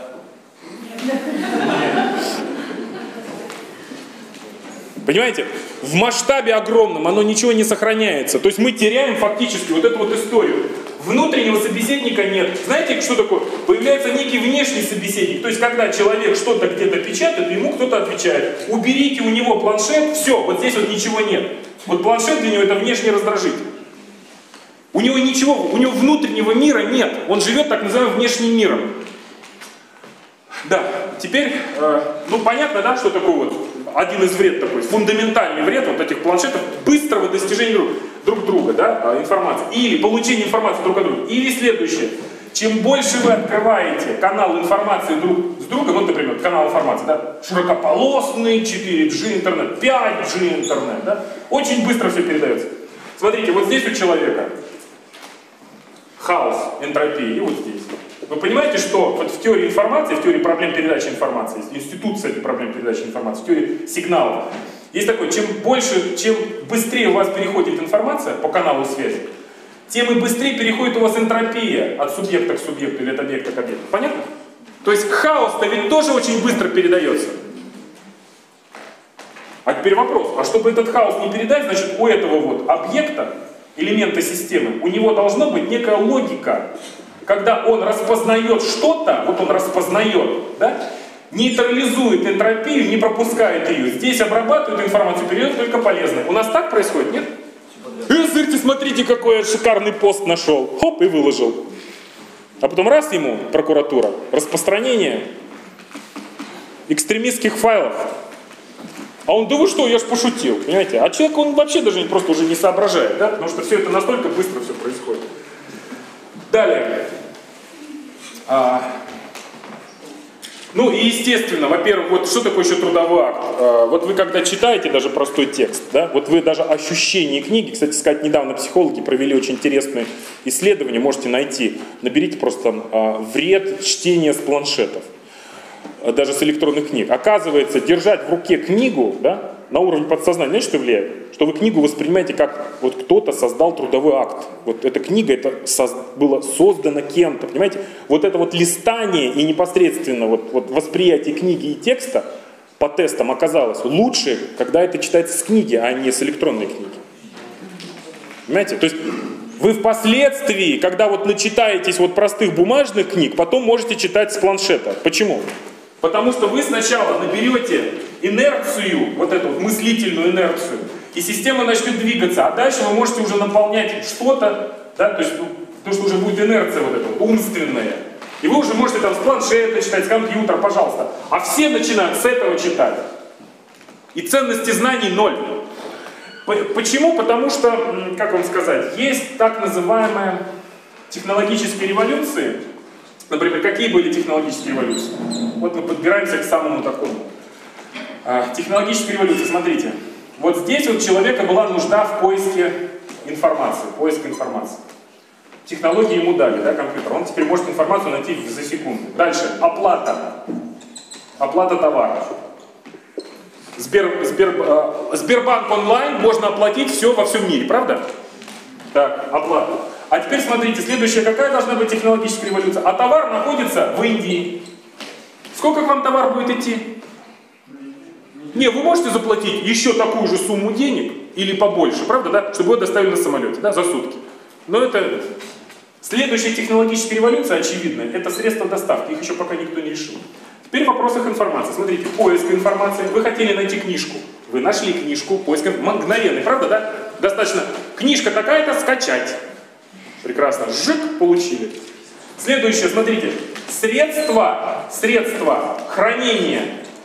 Смотрите, раньше для того, чтобы идти в школу, для того, чтобы идти в школу, или куда-то вы идете, или зашли, например, в библиотеку, или и берете книги, и вы взяли очень много умных книг. Представляете, как тяжело, да? А сейчас сколько книг на одной флешке лежит? Технологическая революция, хранение информации, да? А теперь представьте, какая должна быть следующая революция? Вот вам очевидная следующая революция. Ее сейчас пытаются сделать. Это тоже относит нас к определенному фильму. Смотрите, а вот вы берете и читаете книжку электронную, а вот здесь читаете книжку простую, да? бумажную. Смотрите, что электронную вы будете мусолить две недели, что вот это будете мусолить две недели. Так? Какая следующая революция? Загрузка в сознание электронных источников. Помните, как Нео учился? Загрузить умение управлять вертолетом, а вы понимаете, что это фундамент. Все, вот как только это будет решено, человечество перестанет не то что существовать, оно изменится в одночасье. Почему? А потому что ценность информации мгновенно пропадет. Понимаете? Потому что поиск информации и понимание внутри информации высших смыслов – да? Вот это вот высший, высших смыслов, низших смыслов, разных систем смыслов. Это и есть вот эта вот метафизика, это и есть ощущение личности. А что такое вот эта вот метафизика? А метафизика для человека это ощущение мечты. Вот тут стоит человечек, и у него есть некая мечта вот здесь вот. И есть как бы вот вектор движения в этой мечте, надежда. Понимаете? А это все вещи, они же не бытовые. Это вещи вот здесь находящиеся категории сразу это все уничтожать. То есть для человека единственное, то есть это убийство мечты и убийство надежды. А это как раз мы выходим вот на понятие трансгуманизма. Так вот, смотрите, что произошло в 60-х, 70-х, 80-х годах. У нас шло, например, вот возьмем, да, маркер, да? сейчас мы ее тоже закончим. Значит, у нас шло э, вот в сущности вот этот метод, то, что я много рисую, это вот метод называется интеллектуального картирования. То есть, вот, например, точка да, какая-то, и говорит, вам что-то объясняется, и вот это соединяется, когда вот такой метод есть. Значит, смотрите, вот, например, 60-й год, здесь вот, например, даже 50-й год, 70-й год, 80-й год. И вот здесь вот 90-е пошли, 90-е, 2000 Смотрите. Смотрите, что произошло. Вот здесь вот были сначала, вот здесь вот компьютеров не было. ПК нету, ПК нету, ПК нету. И вот персональный компьютер где-то появился в 95-м.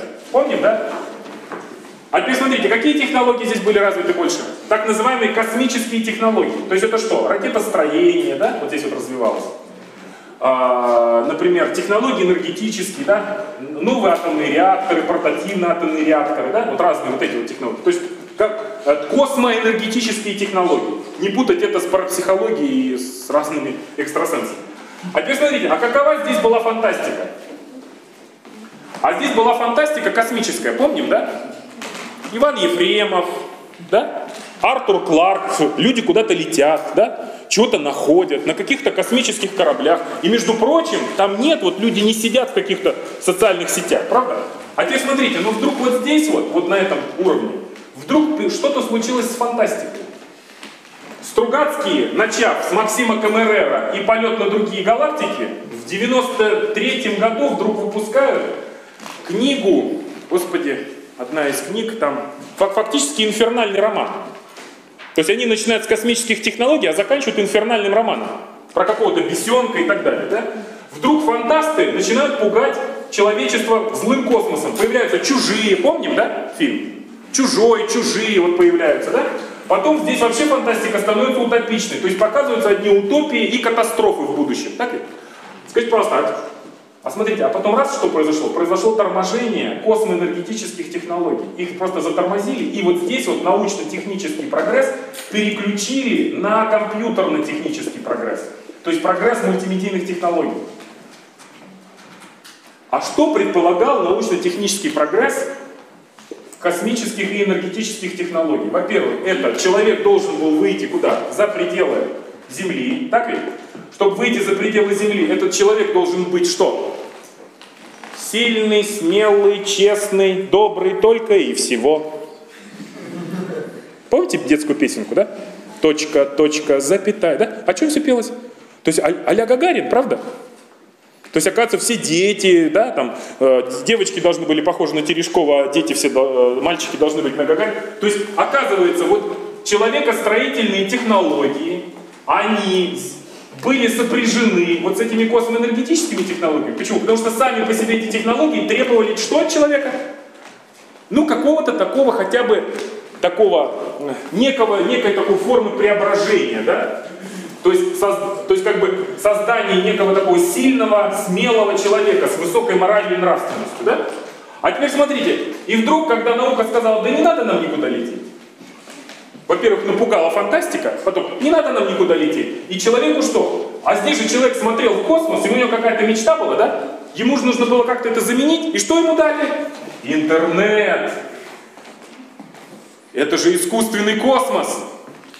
Только космос в переводе с греческого как означает? Красота, украшенный или осмысленный. То есть фактически космонавта, знаете, как можно перевести? Смыслонавт. Вы представляете? То есть для того, чтобы вырваться за пределы Земли, да, человек должен был как бы преодолеть себя, вот преодолеть там энтропию тела, да, вот, вот, вот, вот, понимаете? То есть выйти на уровень каких-то... Вы знаете, как, какие философские конференции проводились э, вот, вот здесь, вот, да? Вот, там, философов приглашали, даже богословы участвовали, какие? Какой должен человек встречаться с инопланетянами? Задавали вопрос. Какая у него должна быть мораль, нравственность, этика? Вы представляете, какой вопрос решался? И все серьезно размышляли. Это должен быть человек высокого духа, высокой морали. Я вас уверяю, между прочим, если бы вот так вот все это продолжалось, вот так вот все это продолжалось, а, вот здесь бы, потому что очень многие представители космонавтики, Например, вы знаете такого Бориса Рушенбах. Слышали о таком, да? Соратник Королева, да? От, открыл явление обратной перспективы в иконах, да? И так далее. Кстати сказать, он, он, он в МГУ вел кружок по иконо, иконографии, в общем. Знаете, где этот кружок находился, в какой секции? Атеистическая пропаганда. Вот. Вот представляете, а, а видеозапись есть? Нет, Вот жалко. Понимаете, вот это, честно говоря, такая высота. Дальше. А, между прочим, а, гуманитар, в гуманитарных науках уже говорили о том, что нужно было вернуть веру. Да? Об этом говорил, например, Лосев. Алексей Федорович. Кстати сказать, тайный монах, источник, не святые святые Тихон Шевкунов, да? Читали, да? Вы знаете, сколько? А потом у меня есть, я могу, если что, вот сбросить. У меня есть такая конференция, сборник. В 90-м году вышел сборник. Конференция там, ну, Мардашвили, там многие там пишут. Знаете, как сборник назывался? То есть система набрала такую инерцию в человекостроении, вот здесь вот, вот здесь вот выходил, вышел сборник, называется «О человеческом в человеке». Там пишут философы, а заканчивают Владыка Петерим. Кстати, конференцию заканчивает статья Владыка Петерима. То есть, если бы кое-что не произошло, скорее всего, к 95 году, никакой бы метафизической катастрофы вот у нас бы, по крайней мере, не было. Но случилось в общем мировом масштабе. Человеку создали, убрали у него взгляд от этого внешнего космоса, а имейте в виду, что внешний космос можно было познать, так говорили греки еще, только через формирование внутреннего космоса. Поэтому вот эти все смысловые миры образуют так называемый внутренний космос человека. То есть это что? Украшенный внутренний мир. И, соответственно, через этот украшенный внутренний мир человек познает внешний другой мир. То есть он как бы переносит его, да? А теперь вот, если говорить так, что вот, вот стоит человек, а вот стоит объект. Вот человек, вот человек, когда у него вот этот вот есть вот внутренний мир, он начинает этот мир э, нагнетать на объект. И вокруг объекта начинает создавать так называемые метафизические поля. Это можно так назвать. Этому даже есть объяснение. Э, есть такой э, физик, исследователь Теодор Ван Хоуэн. Он говорит о теории энтропийной логики в рамках этого. А это вам как раз известно. Вы приходите в храм какой и чувствуете, какое намоленное место. Чувствуете, да? Или, например, вы... Или вы летчика спросите любого. Даже песня есть. «Я в полете со своей машиной неотделим. Если б ты знала, как тоскуют руки по штурвалу». Помните такую песню, нет? Гуляев пел. Есть одна у летчика мечта – высота. Да? То есть я, то есть летчики, они свою машину воспринимают как живую, так ведь?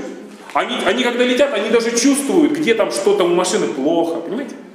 То есть это что? А вы знаете, что вот это метафизическое поле, оно потом воздействует на, оно воздействует на непосредственно физику самого объекта.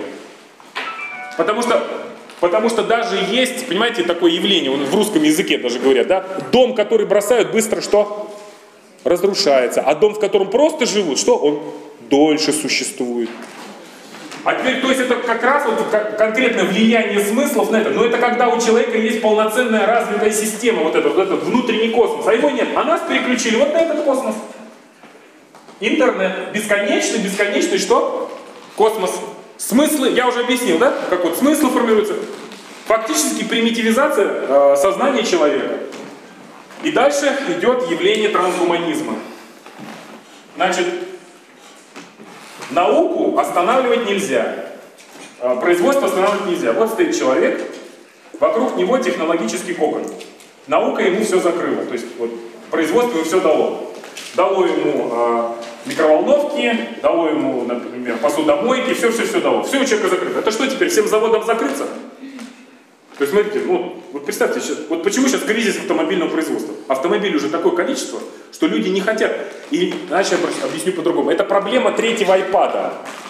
Вышел первый iPad, все. О, потрясающий. Хочу, хочу, хочу. Да-да-да-да, дайте, дайте, дайте. Вышел второй iPad. О, он объективно лучше, чем первый.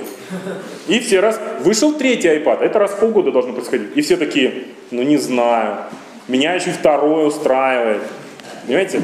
Вышел четвертый iPad. Ну, не знаю. Я, может, второй на третий поменяю, нормально, да? То есть это что значит? Что люди, в принципе, уже как бы произошло, происходит какое-то насыщение. А это что значит? То что, науку надо опустить, а наука опуститься не может. Это катастрофа будет.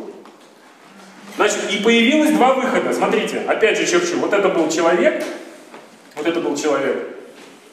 А вот это вот был, да, вот это вот наука. Ну, технологии. И вот они ушли вверх. Соответственно, смотрите, как теперь можно ликвидировать антропологическую катастрофу, вот эту вот. Как ликвидировать? Двумя способами. Смотрите. Либо, либо остановить нау научно-технический прогресс и куда? Переключиться на что? А знаете, что это значит? это Запад, весь Запад должен расписаться в своей цивилизационной несостоятельности. Он пойдет на это? Никогда. Это, это фактически Запад должен будет сказать, слушайте, советское образование действительно было лучшим в мире. А потом он скажет, слушайте, действительно метафизику надо делать, понимаете, все надо как-то возвращать. Но Запад пошел по другому пути, он сказал, надо просто взять вот отсюда, вот так вот протянуть некий как бы такой хобот, да, зацепить человека и вот так вот вытянуть его, то есть взять и соединить вот эти две линии. То есть вот так вот раз и вывести человека вот сюда. А иначе соединить природу человека с технологиями. Вот это и называется слово трансгуманизм. Трансгуманизм. Что это такое? Вот вы, например, пользуетесь айфоном или там, не знаю, чем угодно, да, вот пользуетесь. И вдруг вы его забываете дома. Как? Комфортненько? Да, да, да. Вот. А, ну, плохо, в общем, да? Ну, какой-то дискомфорт. Представляете, да? И я вот студента спрашиваю, а вы бы были согласны, если бы этот смартфон был у вас уже в ухе? Ну, был уже как бы внутри вас. Он говорит, да, конечно, это было бы настолько удобно. Не надо забывать, хочешь позвонил, хочешь там и так далее. А Google уже решает эту проблему, корпорация. Google Glass, знаете, да? То есть это смартфон, включенный в очки. Но Google Glass, он говорит, Google, э, Google говорит относительно Google Glass, знаете, это пока еще ерунда. Вот мы действительно будем смартфон включать в мозг человека, то есть чип такой будет, да? И человеку будет дано, у него будет экран как бы в сетчатке глаза. Они говорят, даже в сетчатке глаза не надо, надо просто электроды вставить в, в зрительные доли, и у человека будет, знаете, как киборг, вот идет, помните, как терминатор? Да-да-да, все будет считать, он будет цен, все-все-все вот это будет. Дальше, значит, ну я, я представляю, где они USB-порт сделают, ладно, я не буду уже фантазировать. Но вот представьте себя, вот эту вот технологию. Это называется трансгуманизм. Просто есть радикальный трансгуманист. Например, радикальный трансгуманист, они говорят так. Вот сердцу трудно качать. И прежде всего в ноги трудно качать. И оно быстро изнашивается. Значит, ноги надо отрезать. И заменить кибернетическими устройствами. Ну, э, протезами, да, роботизированными. И человек может прыгать с третьего этажа спокойно, бегать очень быстро. Кстати, таких вам спортсменов уже показали. Один из них был Оскар Писториус, который там застрелил там свою девушку, там юарец такой, да. Более того, они говорят, а сейчас это все под благовидным предлогом, говорится. Подождите, так посмотрите, как замечательно, сколько людей-инвалидов. И вы так, да, парализованные люди, вы, да. А что делают парализованные люди? Они, есть ролики в интернете, можете посмотреть. Значит, сначала они делали безобидно. Наберите слово нейроинтерфейс. Или иначе, управление компьютером посредством мысли. На него одевается шапочка. А сейчас хуже. Сейчас электроды в головной мозг вживляют. И женщины там или мужчины парализованные, они сначала учились двигать мышкой, ну вот, силой мысли. А сейчас уже есть, уже что добились? Женщине, иначе была присоединена там на коляске роботизированная рука, и она училась ей управлять при помощи вот Сначала это было хаотично, а сейчас есть ролик. Перед ней лежит шоколад наломанная, и рука берет вот так вот. И ей что? То есть это значит, что вас развивать никто не будет. Надо раз... что... То есть понимаете, смысл в чем? Науку мы будем развивать дальше, и научно-технический прогресс дальше, а он будет, в свою очередь, развивать человека. То есть апгрейд постоянно. Понимаете? Иначе создание киборгов, фактически. А теперь представьте, кто откажется, это Лем задает вопрос, кто откажется от усилителя интеллекта? И что вы скажете? Вы выйдете, покажете Новый Завет? Вот вы западному обществу что скажете? Вы даже своему что скажете? Они скажут, да вы что, вы протестуете против очевидного, они скажут. Вы понимаете, что в эти... человечеству, посмотрите, как плохо. Человечество стало тупым. А теперь представьте, кто откажется? Вот тут, с одной стороны, революционный мыслитель, да, у которого есть там слои такой, энциклопедист. А тут вдруг мальчик какой-то, которому вставили чип усилитель интеллекта, да, он книги быстро загружает и просто, знаете, да, сейчас ведь ум заключается в чем? Ум – это скорость поиска информации. Все люди стали резко википедиками. Понимаете? Быстро-быстро скорость информации, поиск. Значит, и, естественно, сама информация, она настолько упрощена, она настолько редукционирована, такая редукция такой, сведение к простоте. И теперь смотрите, что произойдет. А это связано с изменением природы человека, фактически. То есть, представьте в кого? Вот посмотрите все фильмы. Например, фильм «Суррогаты». А фактически, смотрите, экономику можно расширить. Смотрите, дальше человек во что превратится? Он будет лежать дома, да? Смотрите, заводы не нужны будут. Смотрите, создадут интернет-экономику, она уже создается. И человек будет внутри сознанием, да, сознанием, он будет работать внутри сети интернет. А вы представляете, сколько рабочих мест может заключить себе сеть интернет? Миллиарды, сотни миллиардов. А люди будут лежать вот в таких как бы полугробиках, от них будут исходить вот такие вот электроды. Да? Знаете, какую уже, что в принципе уже что в принципе уже, у меня даже новый сохранилось, достигли технической, господи, как это мысль на расстоянии передается, как это, телепатия.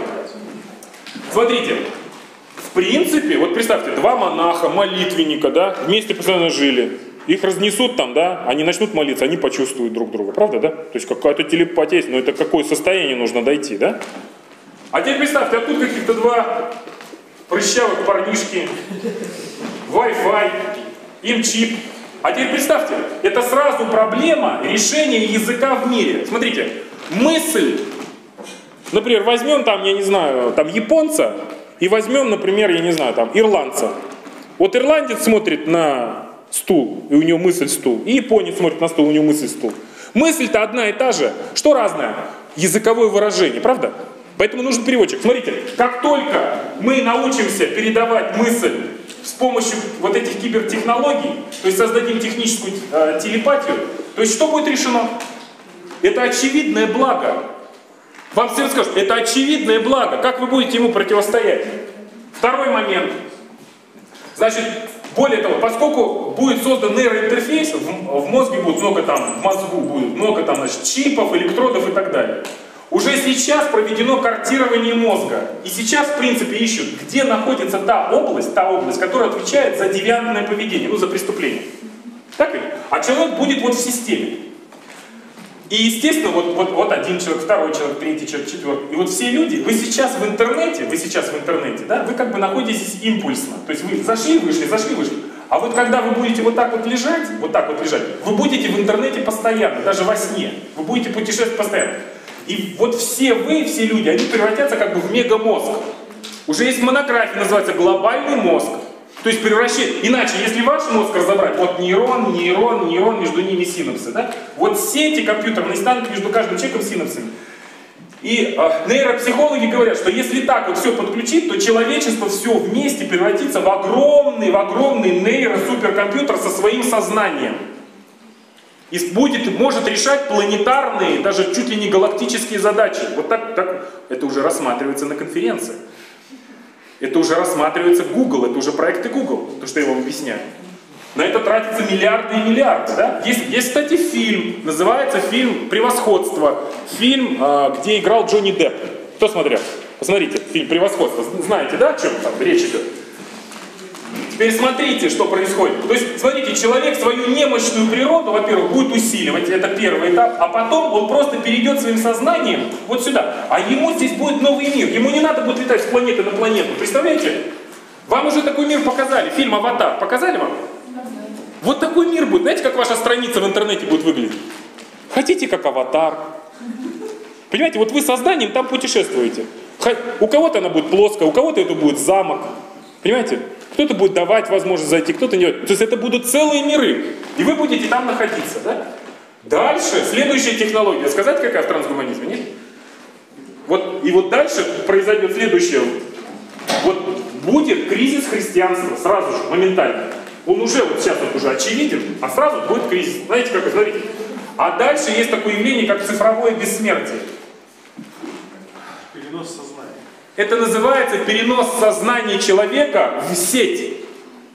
Уже тестируются наподобие устройства, созданные на основе томографов, из человека пытаются сделать цифровую копию сознания. То есть человек перейдет, когда он будет смертен, человек перейдет куда? Он будет цифровым сознанием внутри интернета, он будет как бы чистой цифровой сущностью, которая будет путешествовать там по памяти, там вот, вот, вот в этих мирах и так далее, и так далее. А все вот это будет напоминать огромную, огромную мегаличность. Более того, человек, являясь единицей этой личности, сам по себе личностью не будет. Он будет всего лишь навсего некоторым слепком вот этой вот личности. Он сам, если его взять, он никто. Он пустыш, пустышка. А вот внутри он является что? Проводником этой личности. Это рой. Технология роения. Рой. Я вам тут напомню. Откровение на богослова. И выйдет зверь из бездны.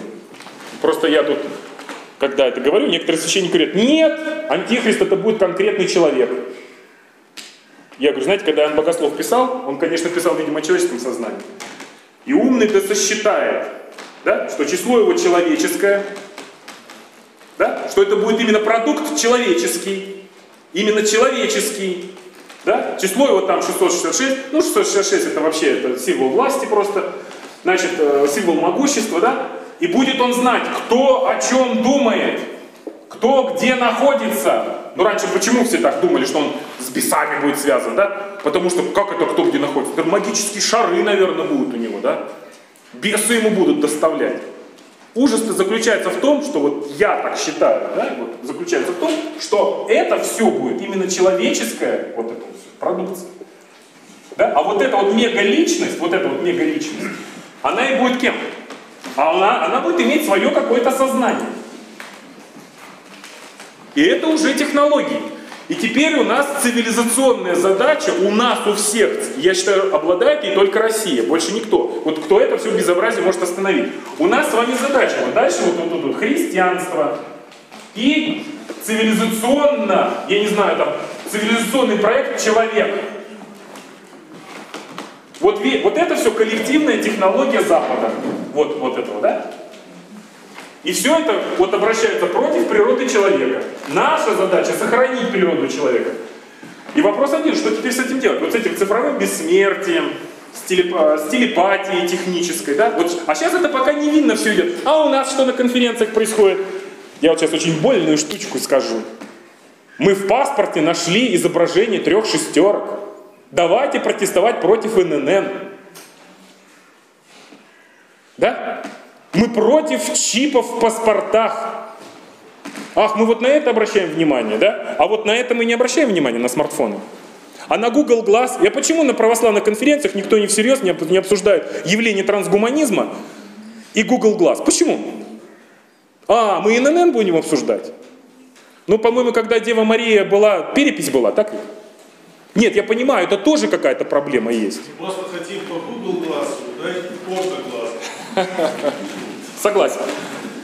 Теперь, а, какой выход из этого сложившейся ситуации? Ну, я страху нагнал, получилось как? Все, уже дальше не надо, да? Алис Гемах, да? Все? Не, у меня еще кое-что есть, можно. Ну ладно, не буду уже. Вот. Значит, как отсюда можно выйти, да? Вот какова наша задача выхода? Вот что мы должны делать?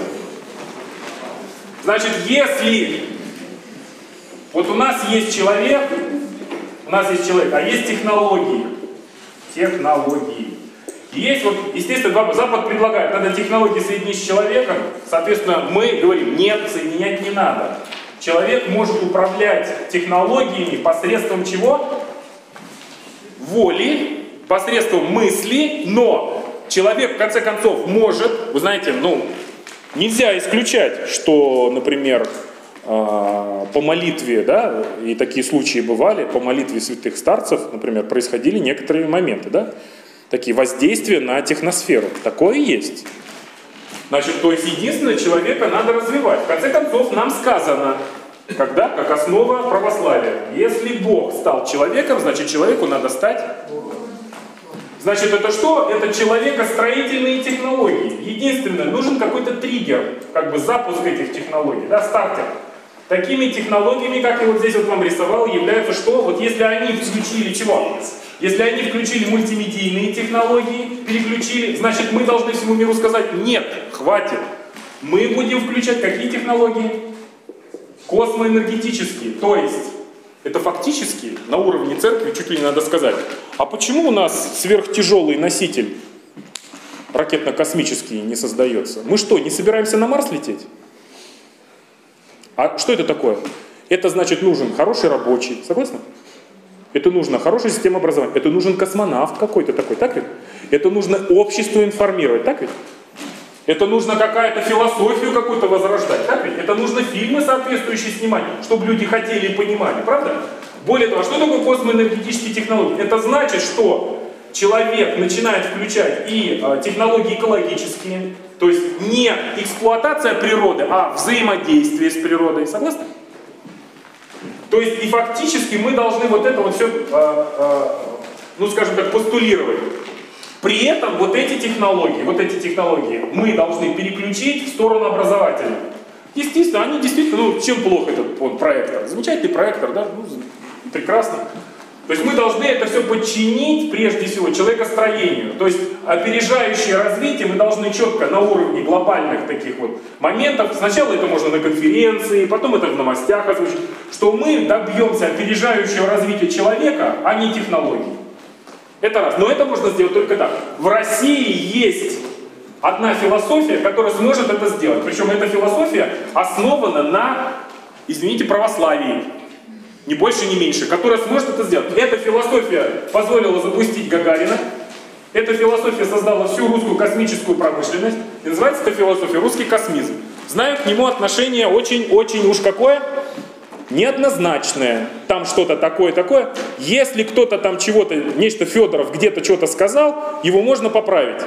Может он был неправ, может он был в каком-то состоянии сверхмечты, его можно поправить. Но Основа этой философии заключается в философии общего дела. Иначе соборность. Иначе это то, что выразил Достоевский. Каждый пред всеми во всем и за всех виноват. Вот это принцип любви, да? Соответственно, вот они хотят вот так вот сделать вот эту антисоборность. Вот это фактически это антисоборность. А мы будем делать что людей? Строить высокоорганизованное общество. Ну, это церковь. Экклесия, сообщество. Совершенно верно. Но это общество должно быть основано не вот здесь, вот я дружу с другим человеком, потому что у него дорогая машина. Да? Я дружу с другим человеком, потому что у меня смартфон там 4S Apple, а у него уже 6S. Я вот поэтому с ним дружу. Нет, а вот потому что вот здесь вот люди будут что-то понимать. А для этого технология образования. Но главное, это просто надо сказать. Понимаете? И, по крайней мере, обществу нужно задавать вопросы. Кому? В государство. В, в общественное мнение. Просто надо задавать вопросы. Это все подчиняется технологиям человекостроения. Иначе, если мы фактически, вот я знаю, что западная философия очень боится реанимации вот идеи вот этого вот, вот русского космизма. А почему, знаете, нет? А потому что это все основано на православии. Фактически это единственная технология на сегодняшний день. Это, по крайней мере, мои мысли такие. Если вы знаете какую-то другую технологию, вот из того, что я показал, потому что нам для противостояния вот с этим вот, с мультимедийными технологиями, да, нам нужно что-то противопоставить. А единственное, что мы можем противопоставить, и всем людям сказать, люди, мы будем строить человека. Понимаете? И люди это поймут. И люди это поймут что мы будем учить. А Россия должна, знаете, кем быть? Или чем быть? Она должна вообще быть лабораторией духа. Вот, на лице Земли Россия это своего рода такая лаборатория духа, где вот формируются вот эти вот духовные технологии. Понимаете, но они должны быть основаны, эти духовные технологии, на методологии священного писания, ни больше, ни меньше. Как только мы отступаем от методологии священного писания, это все. Это мы возвращаемся куда? Мы возвращаемся к человеку-зверю фактически. Да, ну, и, в принципе, если есть вопросы, я готов ответить. Благодарить, но вот несколько слов хотел в продолжение вашей мысли сказать. А, знаете, у нас есть технология, да. которая может быть рассмотрена вполне как альтернатива русскому космизму. И эта технология аскетика. Технология православной аскетики. И такими средами, такой средой, в которой технология отрабатывается для практически является монастырь. Если мы возьмем правильно устроенный монастырь, это, по сути дела, некий микрокосмос, в котором человек занимается в равной мере как духовным трудом, так и физическим делом. Вот это сочетание. Спасибо вам за профессиональную, многократно повторенную рекламу наших курсов каллиграфии как для детей, для детей мы занимаемся чисто У меня дети сами занимаются ей. А для взрослых мы занимаемся профессиональным художеством. Из, участвуют, не знаю, насколько это на самом деле меняет сознание. Это, это факт. Так что я бы к космизму все-таки сохранил определенное осторожное отношение, потому что боялся, что космизм он появился тоже не на пустом месте и не в простое, непростое время. Очень непростое время. Да. И у нас есть в этом плане более более устойчивый состояние, состояние святости, в котором мы видим всякий верующий человек, в котором как раз вот это отчуждение между созданным Богом, созданным Богом миром и внутренним состоянием человека, оно преодолевается. Я понял, да. У меня есть ответ. А, я уже кола четвертый в этом смысле. Значит, а, можно еще чуть-чуть порисую? Значит, я достаточно часто сталкиваюсь. Э, а, смотрите, значит, какую идею, вот возьмем коллективный Запад, вот все человечество. Какую идею транслирует коллективный Запад всему человечеству? Он идея. У каждого человека есть права, и каждый человек обязан что? Защищать свои права. А какие права? Мне один знакомый врач сказал, запомни, человек изначально вообще-то хочет спать много, кушать, дальше идет очень взрослое слово, ну, размножаться, ну, без размножения. Как. Да? Вот это он очень хочет. Но время от времени он вынужден как бы собираться, работать для того, чтобы, да, опять, спать. То есть человек изначально ленив. То есть его должно что-то понуждать. Теперь смотрите, что... И, э, и теперь смотрите, вот человек индус вот здесь. Ему вот эта философия потребления понятна? Как это непонятно? Понятно индусу, арабу, понятно там русскому, понятно. Смотрите, американская мечта всем понятна. Прекрасно. Теперь смотрите, вот начертим Россию. Россия это как бы мини такой космос, что ли, да? Смотрите, Россия может существовать только в форме империи. Если нет, значит это что? Это Московия фактически. Теперь я задаю вопрос. А, скажите, пожалуйста, что вы будете делать и с какой логикой общения вы будете общаться с мусульманским миром и с буддийским миром? В логике здоровых ценностей человека. Не получится. Почему? Ну, потому что, во-первых, их ценности, эти ценности могут быть подчинены какой-то общей логике. А во-вторых, эти ценности будут всегда сталкиваться, потому что здесь есть культура, да, культурообразующая среда. И у них есть культурообразующая среда, претендующая на что? Вот сейчас вот формирующийся ИГИЛ. На что? На мировую.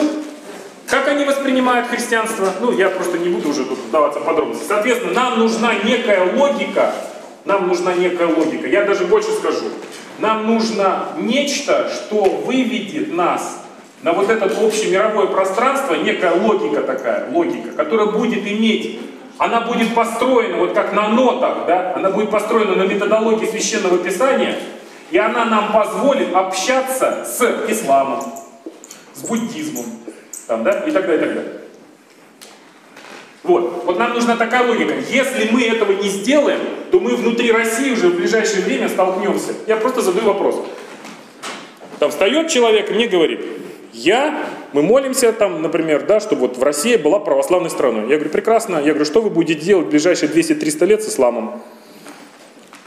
Они говорят, ну так Россия же существовала до революции с исламом. Я говорю, знаете, почему она существовала? Потому что в ислам, например, в Таджикистане, да, там, в Туркменистане еще не было сложившихся каких религиозно-политических элит. Их не было. Так ведь?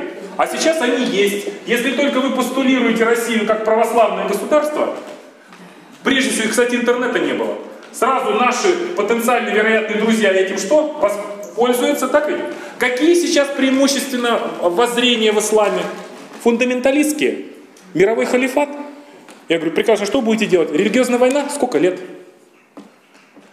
Что вы будете делать? Соответственно, к ним нужно обращаться как-то по-другому, нужна какая-то логика. Понимаете? Как это неприятно слышать, но это логика, а это как раз вот технология цивилизационного строения такого, да? Она должна быть в каком-то смысле надкультурной, каком-то смысле надрелигиозной, но логика сама построения ее тела, это методология священного писания. У нас все для этого есть. Просто мы говорим, что первое мы будем строить человека, да? И мы поменяем техносферу, все подчиним для строительства человека. А для того, чтобы это поддерживать, мы должны возродить космические технологии. Я не вижу другого. Вот что сейчас можно противопоставить вот этому бешеному а, мультимедийному беспорядку? Я не вижу.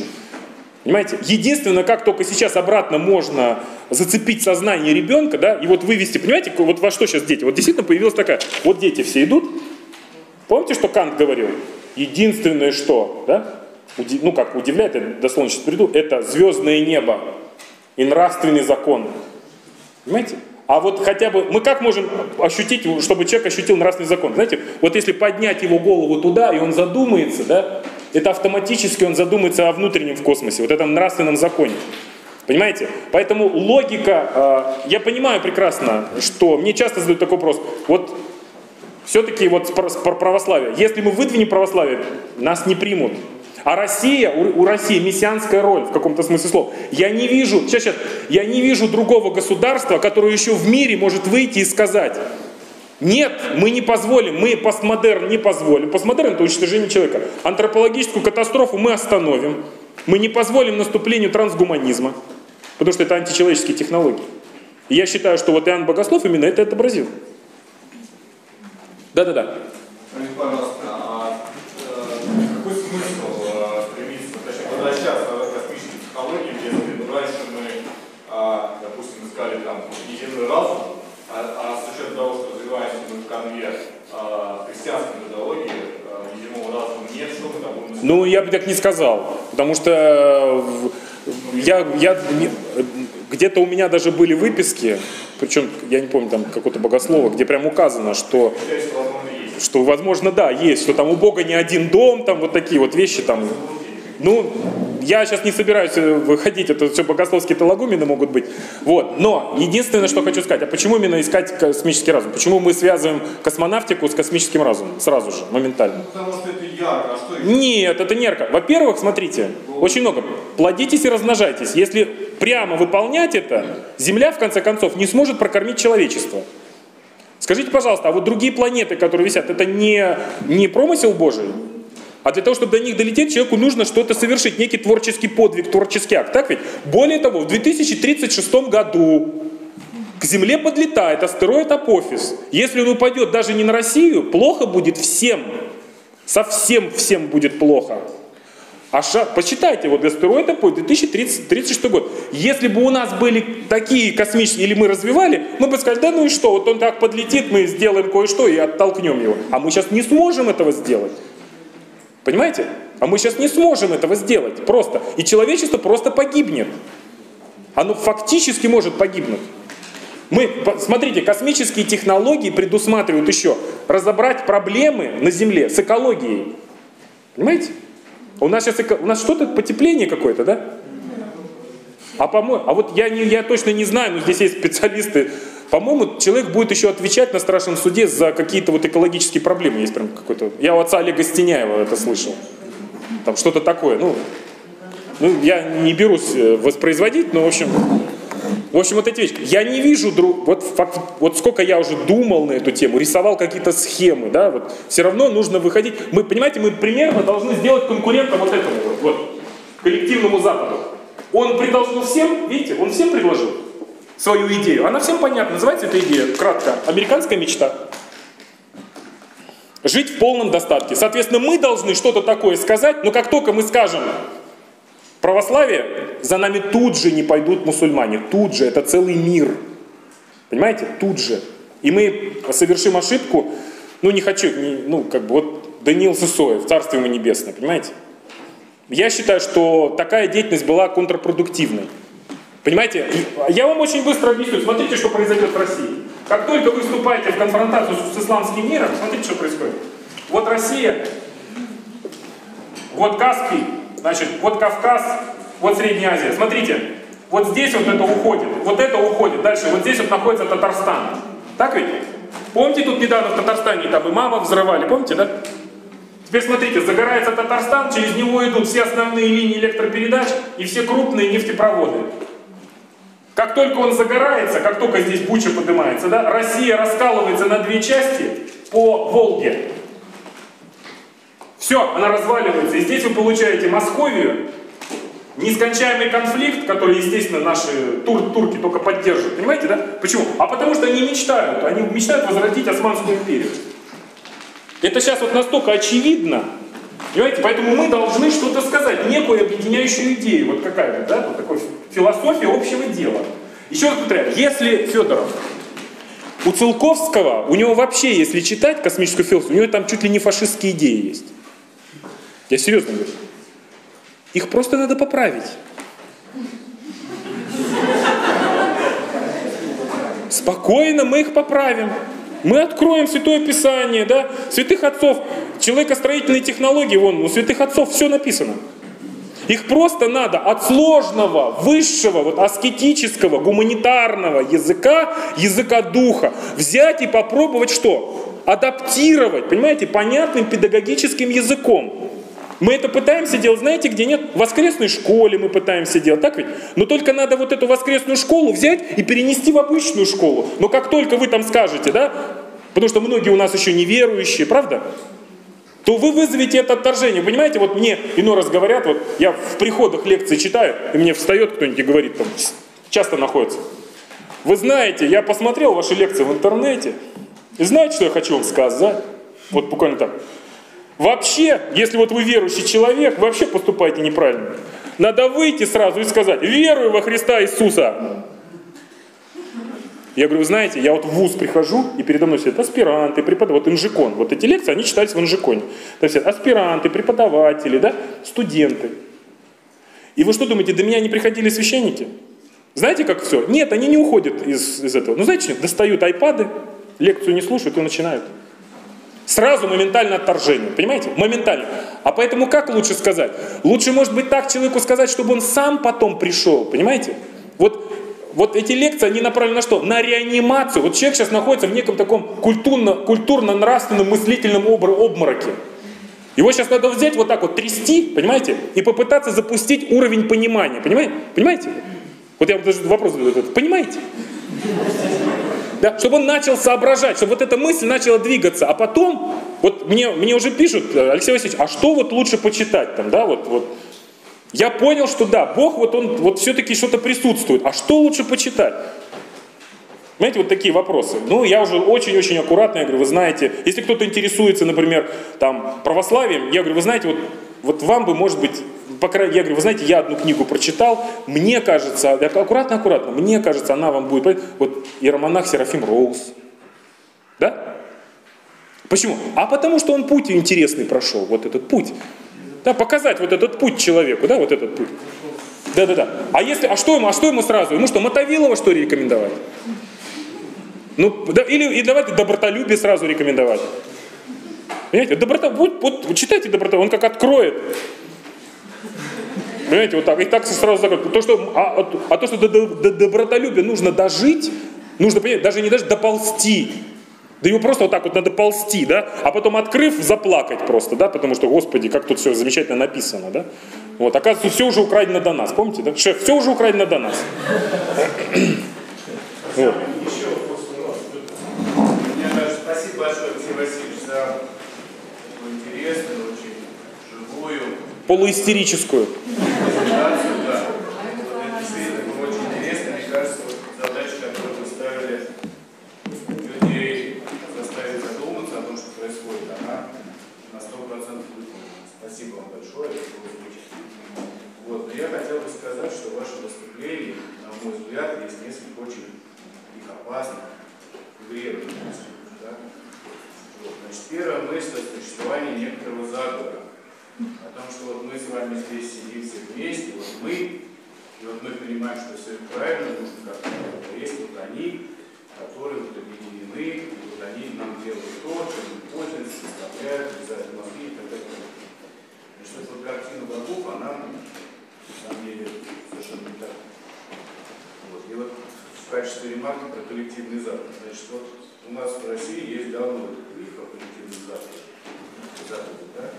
Коллективный Запад это, скажем так, это миф, который у нас придумали мы уже там, да, 200 лет. Потому что коллективного Запада нет.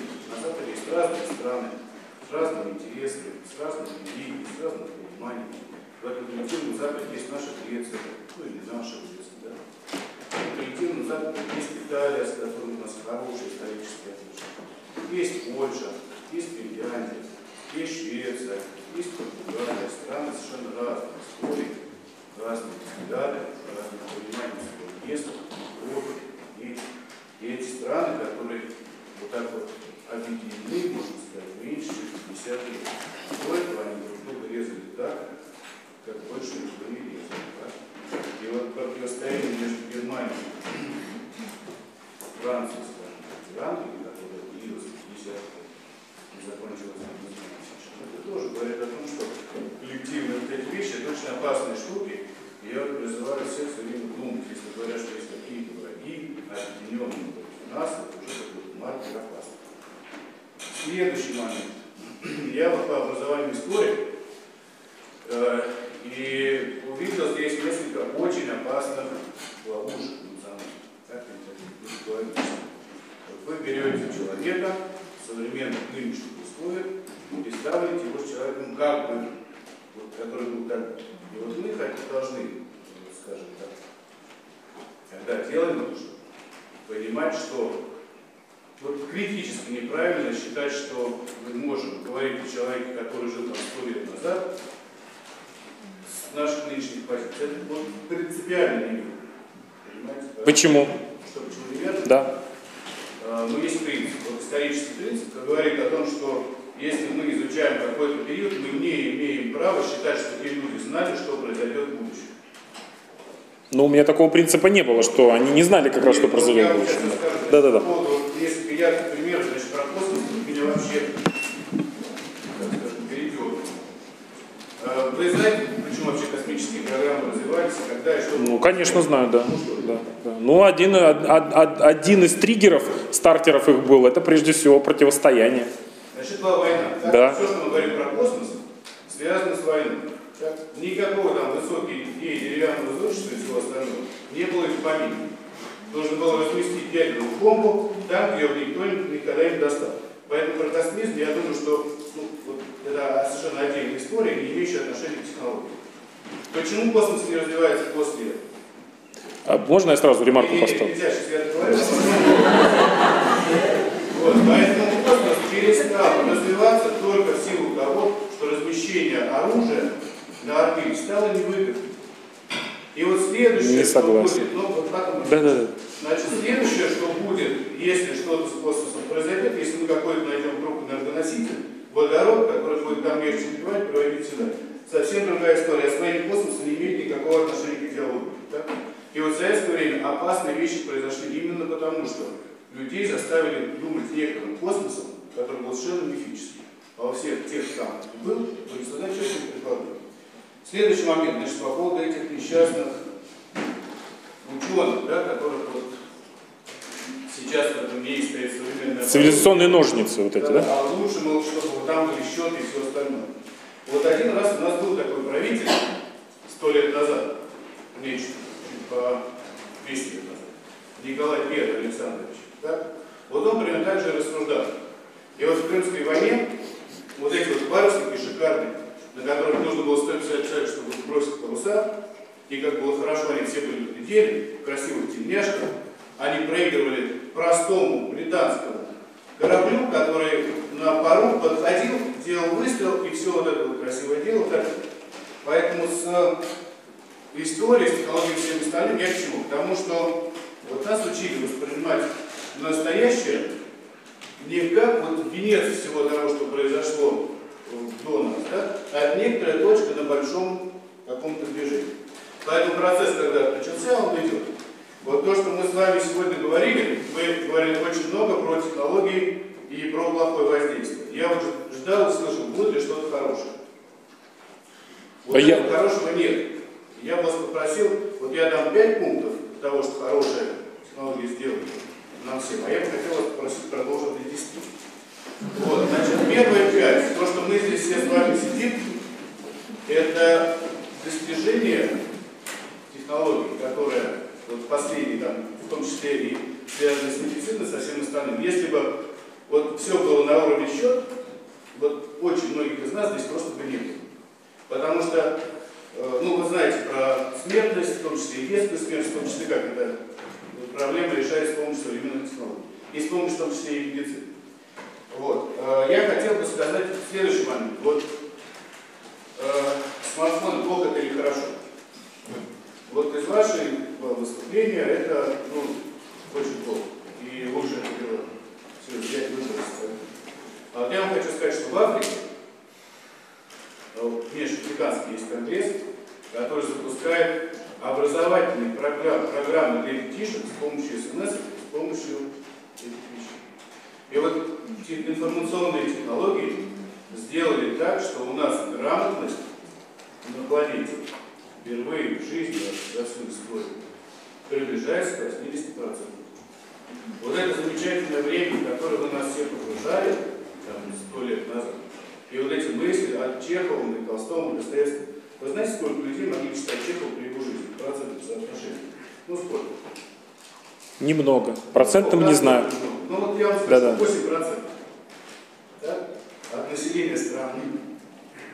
Вот все, что вы говорили про грамотность, э, я про технологии хочу сказать, что да, технологии это важное дело, ну, нельзя это учебнять, ну просто нельзя. Но вот этот вот страшный зверь, ну скажем так, есть у любого процесса есть какое-то вот ну, развитие, так? Вот это развитие можно, э, здесь магистральная линия, э, а есть какие-то отклонения, которые, ну, скажем так, являются, ну, не нормой. Я прошу прощения. Просто если вы сейчас будете много задавать, я просто не, не смогу запомнить. Да, я, я, потом, я потом резюмирую и оставлю. Да, а, ну хорошо. Вот, значит, э, вот пример такой. В начале 20 века в Лондоне э, был очень большой всплеск населения. Как Лондон, люди вот, со всех там, окрестных и неокрестных мест стекались, стекались. Вот люди думали, все, вот мы не сможем жить в Лондоне. Почему? Потому что столько будет народа, и конки не справятся, и навоза будет столько, что люди вымрут. И это был серьезно, это был на конференции. Люди говорили, доказывали, там все было понятно.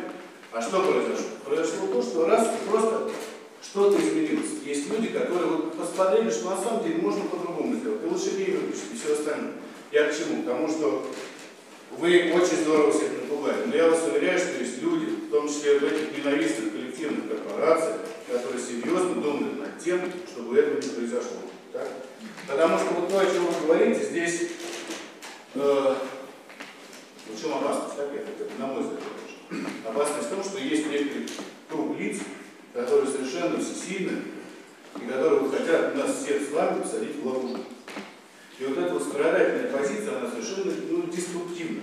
Потому что телефоном мы все будем пользоваться. И вы пользуетесь. И телефон у вас, я уверен, хороший. И компьютер у вас хороший. Значит, показываю насчет телефона. Это и Nokia уже это больше 10 лет. Это мой личный телефон. Это ваш выбор. Но тем не менее, вы сам печатаете. Э, То есть тезис уже один, что нехороший. Ну. Ну, ну я понимаю. Вы же, наверное, на компьютере работаете, а. Ну, на компьютере, да. Значит, по поводу файлов, кстати. Ну, у меня, ну, кстати сказать, у меня есть и печатная машинка. Rain Metal 1922 или 23 года выпуска, кстати сказать. Ну, хорошо. Значит, э, тем не менее, вот тоже по поводу черновиков всего остального. История файла записана, все, все, все. Нет. Нет, нет, нет, нет, нет. Ну, я вам ну, Значит, э, возвращаясь к этому, я еще раз очень благодарен, что вы выслушали, что вообще, я сказал, что вы. Значит, моя, моя, это, я ни в коем случае не хотел вашего основного тезиса о необходимости быть очень внимательным с тем, что происходит, никаким образом приказ. Ну, подвергнуть сомнению, что я с ним абсолютно согласен. И хотел бы вас вот резюме попросить добавить в мой список позитивного влияния технологий на э, человечество, потому что тема заявлена воздействие. Да? Угу. Вот, воздействие может быть негативным. Я бы хотел, чтобы из ваших уст тоже было Хорошо. про эффективность вот это произнесено. Вот. И второе, если вы вкратце можете э, вот, отреагировать на тезис о том, что не бывает только, вот, что направление технологии оно такое, что мы все равно человечеством все вместе найдем какое-то решение, которое будет всем, э, ну скажем так, во благо, я бы хотел, чтобы тоже к этой возможности отнесли. Спасибо большое. Можно, да? да. Э, очень много, да.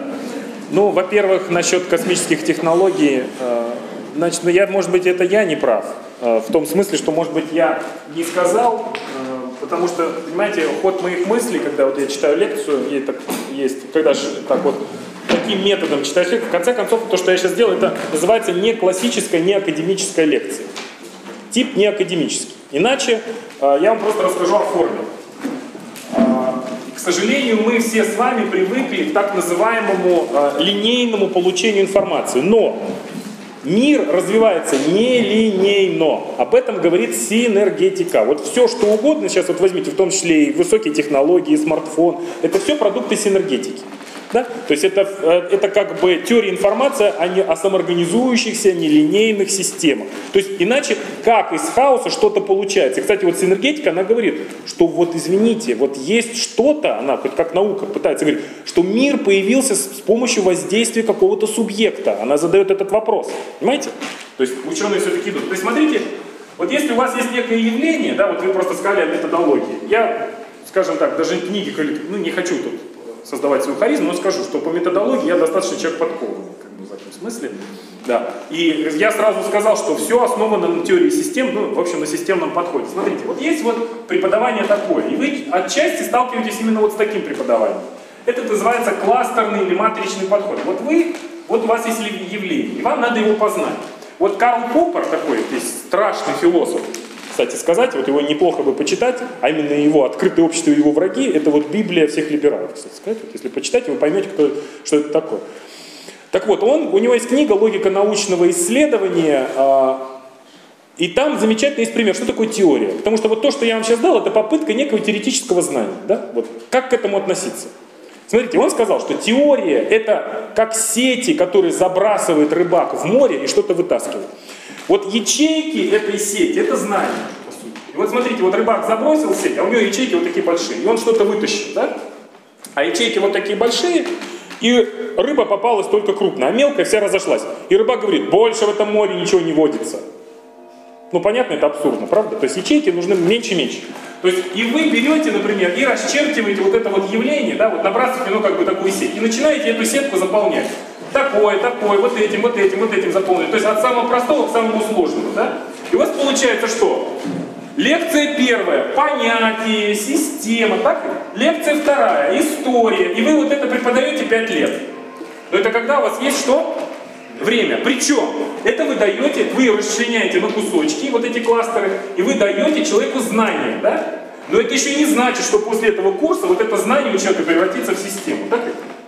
А теперь вопрос, а когда у вас этих пяти лет нет? Значит, второй, значит, вот, вот этой ничего нет. Вот так вот, смотрите, вот это уже такой так называемый э, фрактальный, может быть, подход, да, так можно его назвать. Вот, вот сюда раз точку, мы берем главную точку в объекте познания, да, и смотрите, берем вот так, вот, делаем. Вот эти точки, вот эти точки, вот отсюда, пытаемся логику вот такую вот, вот преподать, да? А дальше, что получается? Мы как бы человека, это получается вроде бы как хаотично немножко, а дальше сознание человека, но тут зависит еще от класса преподавателя, оно пытается это что, соединить все в систему. Это тогда, когда у вас очень короткий период времени. Объяснить очень сложное что-то, понимаете? Теперь вопрос. Вот Лем в свое время поставил такую информацию. Он сказал, это называется мегабитовая бомба. Информации такое количество, и каждую секунду, вот сейчас вот это все производит такое количество информации, что у вас нет времени в периоде одной жизни, есть математическая прогрессия просто, в период одной жизни разобраться в каких-то проблемах. Нет времени, все. Надо что-то делать.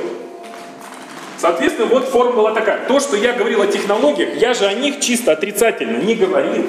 Я говорил следующее, что вот эти вот технологии, я же с самого начала сказал, что человек со смартфоном, с мультимедийными технологиями, это как обезьяна с гранатой. Понимаете? Он может сделать что-то полезное, либо застрелиться, но, к сожалению, у человека, я, я понадеялся, что это может просто понятно сказать, что вот регулировать применение технологий должна вот эта сфера сфера сложных метафизических мыслей, да, вот ты сможешь так сказать. И человек должен управлять вот этими технологиями. А фактически получилось так, что эти технологии управляют им. И человек сейчас находится вот в этой техносфере и вынужден развиваться не по законам, которые он построил, а фактически по законам, которые нам выстраивают. Да? Вот эти вот, вот эта техносфера. То есть я не, я не хочу и не берусь даже говорить о полезности или неполезности, но тот вал проблем, который нам создают, создают вот эти современные технологии, а он копится, и человечество его просто не хочет решать, абсолютно. Первый вал – это накопление информации. Второй вал – систематизация информации. Это проблемы методологического уровня, они еще не решены. Понимаете? Третий вал – изменение природы человека в части изменения сознания. Вы понимаете, что вот эти технологии, вы говорите, да, читаю, но уровень-то поверхностный. Это все равно, что сказать, да? Ну все же сейчас кушают. Посмотрите, мы голод решили. А то, что все люди раком стали больше болеть, потому что трансжиры. Понимаете? Потому что дешевле, потому что дешевле производить ненатуральную продукцию стало, да? Это вот это неэтичное заявление. Я вам могу сказать, что, например, э, у нас есть государство Китай, с которым мы граничим, да? Да. Там каждый год голодают 140 миллионов человек. Я согласен. Но, Вот я, нет, давайте, Ну, я- голодать серьезно, то есть не то, что не доедают чего-то, а могут умирать. умирают. И в Африке умирают. Ну, вот тем более. Вот, поэтому тут мы с точки зрения белого, здорового, счастливого человека, Я проще даже скажу. Я проще даже скажу. А в- знаете, кто такой был Ботвинник? Михаил, да, Гроссмейстер, Михаил Ботвинник. Он был, по-моему, шестикратный чемпион мира. И вот Ботвинник, это вот как раз э, к тому, что вы говорите, вот, а нашу космонавтику двигала только война. Нет, не только война. У нас была насущная проблема. Вы, наверное, читали план «Дропшот»? Мы победили в, э, войне с Гитлером. Я что-то как-то не понимаю, вот кто управлял процессом? Это элита какая-то управляет процессом? Или это стахастический процесс, то есть это такой случайный? Что Европа фактически два раза объединялась и шла на нас. Вот два раза в истории так. Это, мне кажется, не совпадение. Да? Сейчас еще есть признаки того, что Европа еще раз может объединиться и пойти опять а, на Россию. Ну, что-то какая-то такая лихая закономерность. Так вот, а, не согласен с вами, что нашу космонавтику развивали только лишь эти тех, э, война. Хотя она и тоже. И она была большей степени развивающей, нежели чем другие. Вот эта мечта так называемая, да, человекостроение. Поясню вот по какому поводу. После 1945 года речь Черчилля в Фултоне. Вы знаете ее? Вы знаете, все ее, наверное, знают. Кто не знает, прочитайте, где Черчилль сказал, что мы должны делегировать Америке полномочия в любой момент совершить бомбо- ядерную бомбардировку СССР и уничтожение коммунизма как такового. Потом появился план дропшот. План дропшот. Уже бомбардировщики взлетали, уже взлетали бомбардировщики. И вдруг бомбардировщикам приказали сесть американским, когда узнали, знаете что? Когда, оказывается, наши летчики от обморожения, там прим- полупримерзшие, сидели на Северном полюсе, и там мы создали аэродром. Понимаете? Там с горелками солдаты меняли друг друга, чтобы самолет вот теплый был, чтобы мог взлететь. То есть это геройские подвиги на самом деле были. Потом план дропшот, он кочевал, вот почитайте вот эту историю планов этих дропшот, вот посмотрите. Сейчас это называется час Ч или день X у них называется. Они говорят, что мы не будем конкретно, потому что однажды дата была, по-моему, ну по- посмотрите в историю, на 1 сентября бомбардировка была назначена. Планируемые жертвы, бомбардировка 60 городов СССР, планируемые жертвы свыше 60 миллионов человек. И эти планы были. Более того, есть книга э, Михаила Полторанина.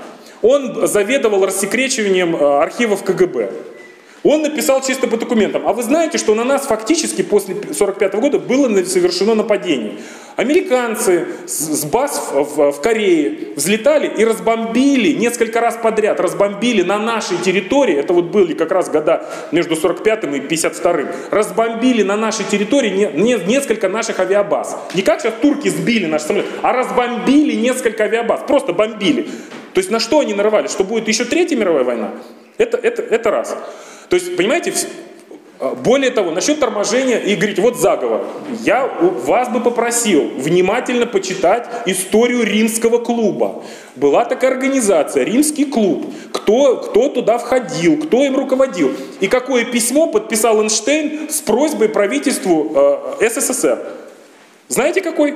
Правительству СССР Эйнштейн подписал письмо. Было написано, прошу вас, уважаемое правительство СССР, это были крупные промышленники, крупные ученые, прошу вас остановить рождаемость и затормозить научно-технический прогресс в вашей стране. Я вас прошу, вот, вот, вот буквально было такое обращение. Почитайте историю римского клуба и кто туда входил. А потом, кто от нас туда входил.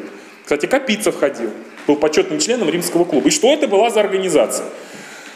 Вы меня вынуждаете, вот говорите, когда нет заговора, вы нужда... Понимаете, заговор есть всегда. Даже когда сосед хочет уд- э, украсть квартиру другого, да, он строит заговор.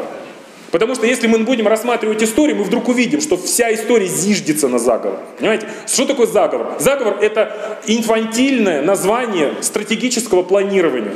Любое государство делает, создает стратегическое планирование. Понимаете? Вы что думаете, турки просто так это все сделали? У них нет стратегического планирования? А может быть этот инцидент включен в их стратегическое видение? А вы знаете, что государство... Например, у китайцев, вот сегодня, по-моему, китайцы были, да? У китайцев, знаете, насколько у них есть план стратегического планирования развития государства? И они этого не скрывают. Знаете, насколько, нет? Тысячу лет. Тысячу лет. Вы представляете, как... вот они взяли вот такой за, за основу. Значит, это Насчет небольшая ремарка относительно космических технологий. Значит, да, вы ракету Р-7 прекрасно знаете. Это на той, которой летал Гагарин. Значит, на ней полетел Гагарин. Ракета это создавалась. Вот такая у нее юбочка была, да, вот здесь. На ней полетел. Она создавалась для чего? Для того, чтобы здесь была бомба. Я согласен. Но это, это всего лишь ракета Р-7. А теперь Королев делал следующую ракету. Она была вот такая вот. Вот такая, вот такая, что вот такая, потом вот такое утолщение было, вот такая. И ракета это называлась Н-1.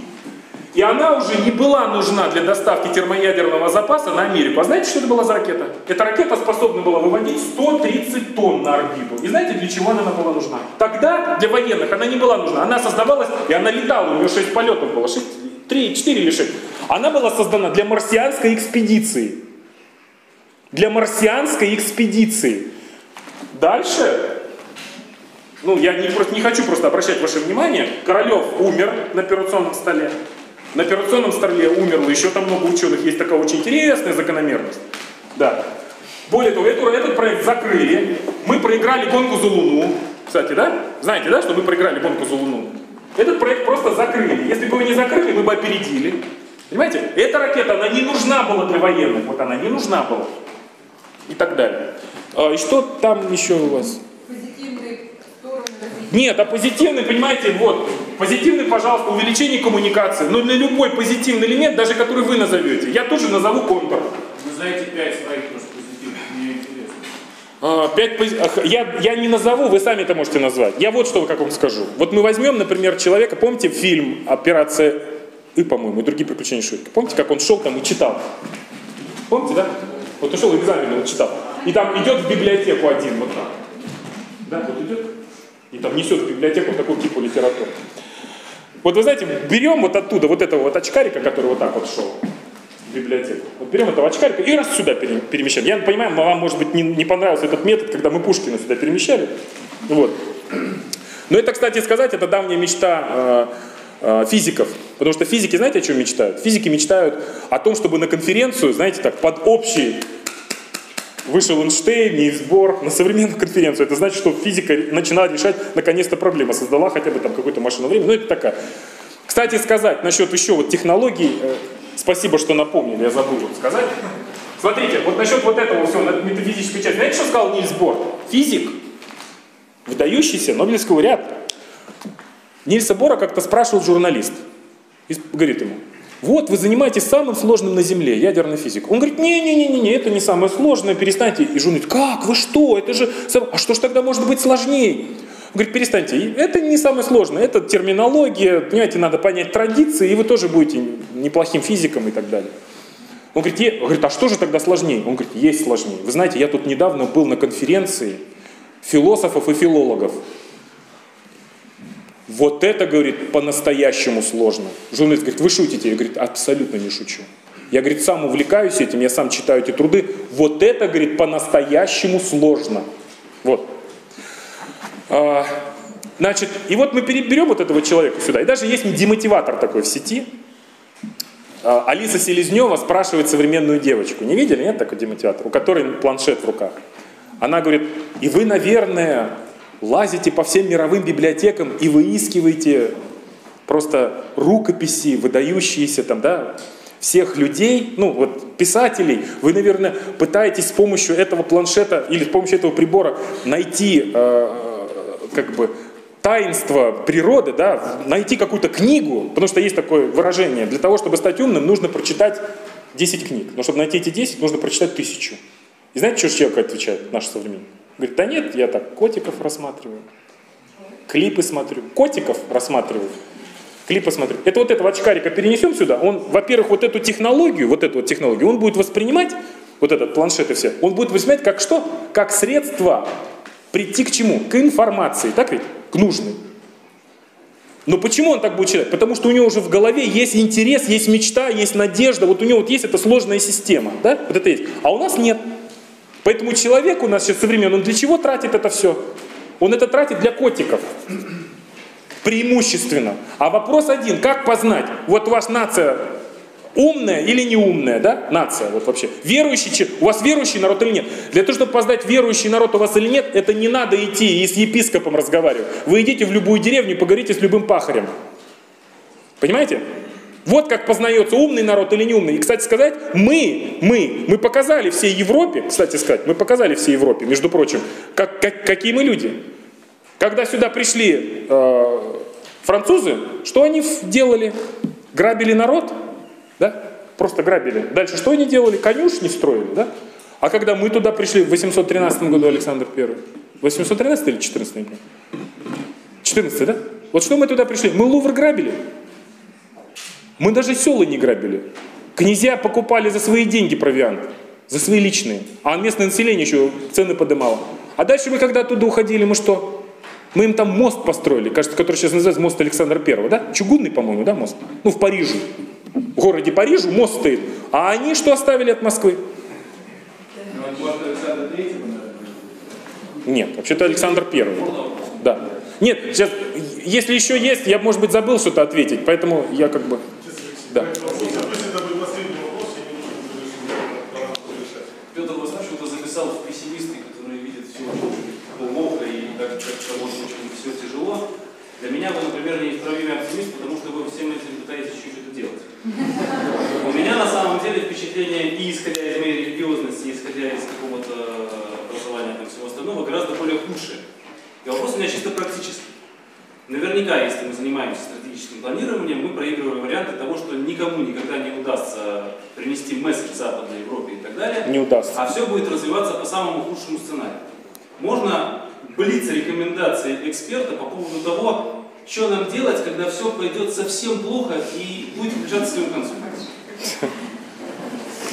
Ой, ну знаете, я, во-первых, не, не, не считаю себя экспертом, потому что... Ну, давайте опустим это слово. Ваши ну, мои, мои блиц-рекомендации. Вы знаете, я, может быть, так отвечу.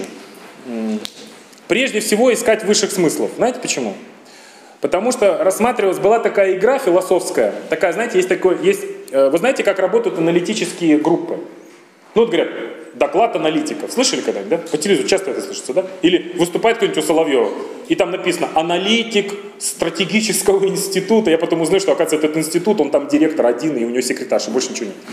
Вот. Я да, думаю, может, мне тоже что-то такое организовать. По крайней мере, у меня хоть лекции, вон, видите, уже в интернете. Вот. Сейчас, сейчас, сейчас. Я еще не ответил, да.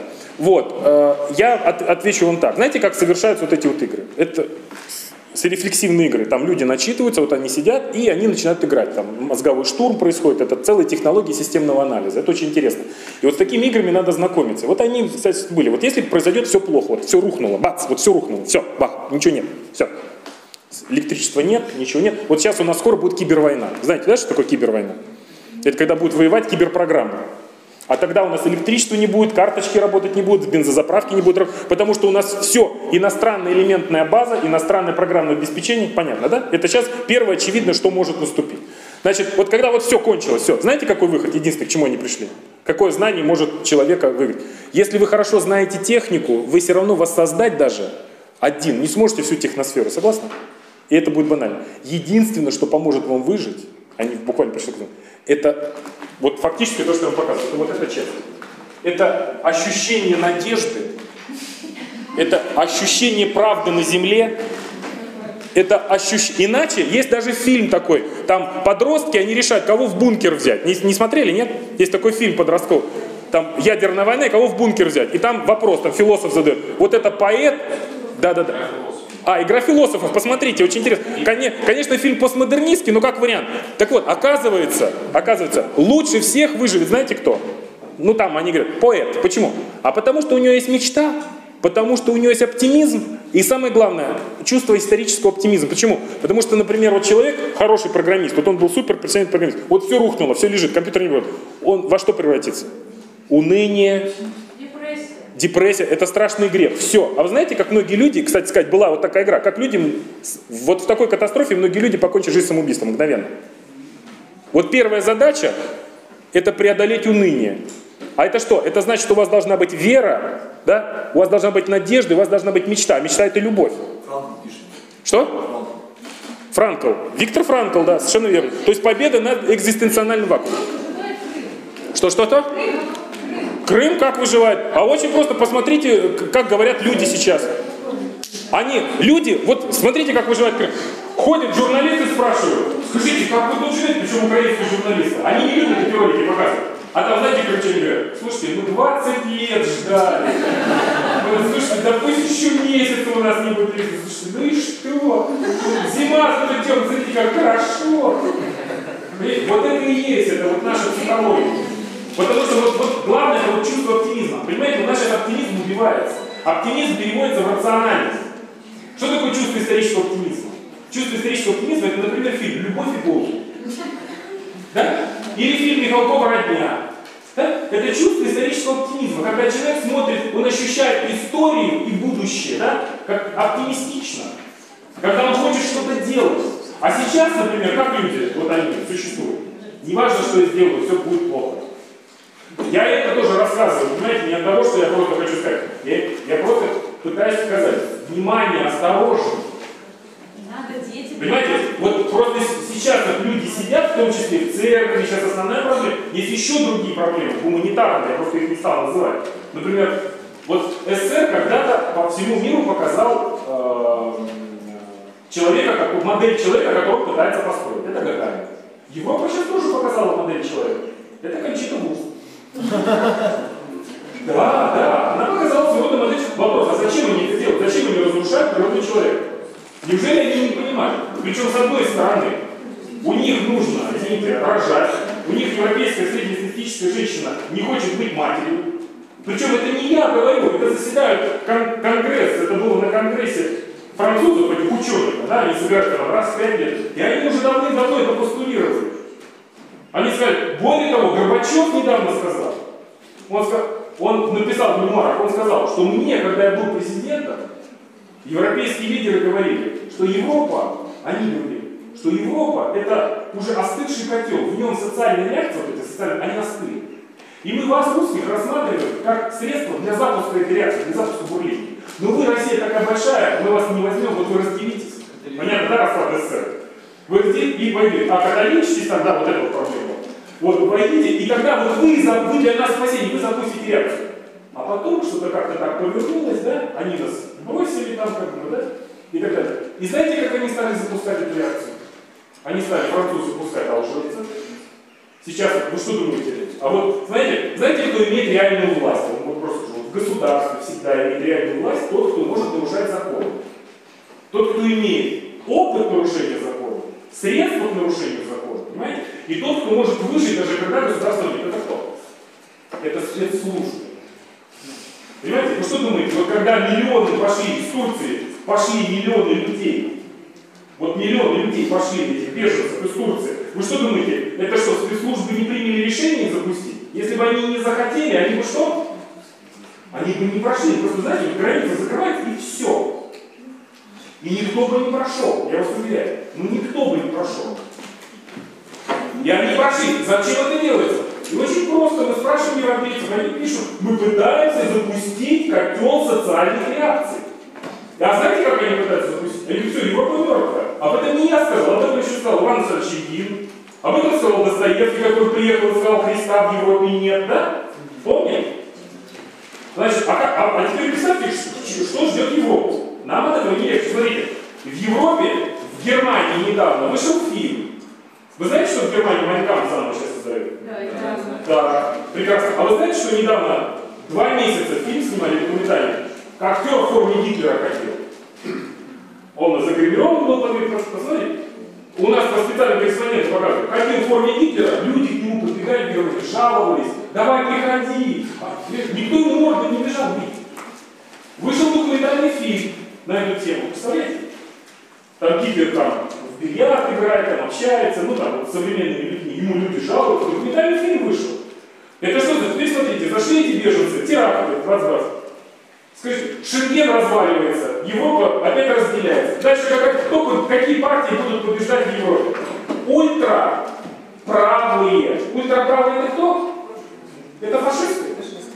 А дальше Европа, блядь, объединится уже как ультрафашистское государство. Это говорю не я. Это говорят экономисты. Понимаете? Вот когда экономисты, вот когда они прогнозируют доходы свои, да, вот они говорят, они смотрят на политическую вот эту вот часть. Позитивная нота была лучше. Я еще, если вы сейчас еще зададите вопрос, будет страшнее. Последний вопрос, и мы завершаем. Алексей Васильевич, спасибо вам эту лекцию. Вот вы обозначили проблему технологическую.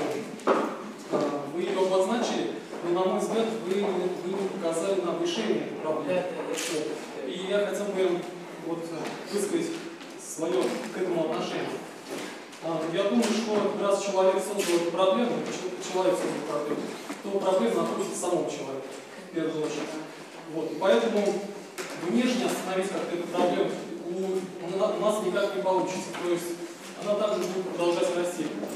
И вывод из этого только тот, что нужно менять не средства, а, а самого человека. То есть, э, вот как говорил апостол Павел, он говорил, что все испытывайте, но хорошего держитесь. Вот. Что нам нужно вырабатывать как, так называемый технологический иммунитет. То есть, как мы будем к этому относиться. И что никакие, на мой взгляд, внешние какие-то строения не могут повлиять на это. Что касается вот нашей страны, то вот проблемы, которые нам, нам, нас угрожают, на мой взгляд, решение э, этой проблемы – это возрождение традиций. Э, традиций православных, э, традиций мусульманских и так, и так далее, что было у нас до революции. Еще по поводу Европы тоже хотел сказать, что еще в свое время патриарх Алексей обращался к Европе и предостерегал, он говорил такие слова, э, что Европа, возвратитесь к своим традициям. То есть он нас им указывал, что если этого не будет, то у них будут большие проблемы. И последнее я хотел бы сказать, что э, наша, вот, наша задача всех, кто здесь присутствует, и вообще, чтобы нам нужно возрождать через каждого из нас вот, эти, э, вот эту традицию православную. Абсолютно согласен. Абсолютно согласен. Почему? Потому что православный человек, я, по-моему, говорил, может быть, нет. Нам же что сказано? Будьте хитрые, мудрые, аки змеи. Да? Ну, кратки. Ну, краткие или простые, как голуби. Это совершенно верно, да? Но лучший, раньше говорили так. Я, кстати, про Ботвинника немножко забыл. Ну, ладно. Значит, это что значит? Что вот раньше говорили так, играть с русскими в шахматами, европейцы говорили, это утопия. Понимаете? И это что значит? Лучший в мире ученый должен быть православный человек. А почему? А потому что у православного человека вот эта часть, вот эта часть, да? Ведь что? Вот смотрите, это ведь не... Вы знаете, вот, может быть, вы не читали. Вы почитайте книги Ричарда Докинза. Может, кто-то сталкивался с этими книгами? Нет? Он атеист, он читает лекции, Понимаете? И когда вы будете сталкиваться с конкретными атеистами, они будут апеллировать к Докинзу. Это ученый, нормальный, такой обычный, там, биолог, по-моему, физик. А, вот. Так вот, и Ричард Докинс говорит, никакая религия и не, не нужна для формирования нравственности и морали. И он берет и начинает лекцию читать, доказывая, что наука техническая сама может сформировать нравственность и мораль. Ему, есть такая конференция TED, знаете, да, там, в Америке, очень популярное там выступление, ему все аплодируют. Это у них сейчас, как называется, тренд целый. Я, я совершенно с вами согласен. Почему? Потому что, как вам сказать, что мы, знаете, вот можно так сказать, есть такой термин, спецназ Всевышнего. Понимаете? Вот, соль. Ну, соль земли. Иначе вот современный, мы спецназ вот этот вот, да? Вот мы должны обладать вот этими вот технологиями. Но я, в принципе, вы, может быть, опять же, я вина моя, может, я не так правильно объяснил. Я еще раз говорю, что мы должны одновременно найти ошибку в себе, да, и что-то сказать миру. Почему? Потому что мы сейчас не можем выключиться из общемирового процесса. Вот найти ошибку в себе, а, вот здесь вот была ошибка, да? Нет, нет, нет, вот правильно, давайте обращаться к традиции и так далее. Но учитывая то, что если мы будем кичиться, выносить свое православие, мусульмане нас не поймут, да? А всему миру мы что должны сказать? Вот то, что я говорил. А мы всему миру скажем, слушайте, понимаете, эти технологии это хорошо. Пусть они развиваются, но они не должны губить природу человека. Так ведь? Да. Спасибо, Алексей Васильевич. Что мы еще будем иметь возможность пообщаться с Алексеем Васильевичем чуть позже, хорошо? А, что я хочу сказать? Вы знаете, у апостола Павла есть такие слова. Он призывает христиан быть простыми на зло, но мудрыми на добро. Да. То есть мы должны четко понимать, то, что нас разрушает, мы это отказываемся без особых размышлений, а вот дальше куда направлять, на это надо быть изобретательным. Я думаю, что э, для начала нашего курса ваша лекция была очень правильная и очень корректная, потому что вы дали очень сильный импульс для нашего Я вот мокрый уже. Нам потребуется, нам потребуется определенное время для того, чтобы осмыслить какие-то свои взгляды, может быть, в чем-то с вами не согласны, может, какие-то взгляды, продолжающие ваши размышления, формализовать и, может быть, даже представить их вам в виде неких э, вопросов, размышлений, предложений для нашего дальнейшего разговора. Я не сомневаюсь, что мы еще с вами обязательно встретимся, и мы еще к этому подготовимся. А я, я тоже подготовился.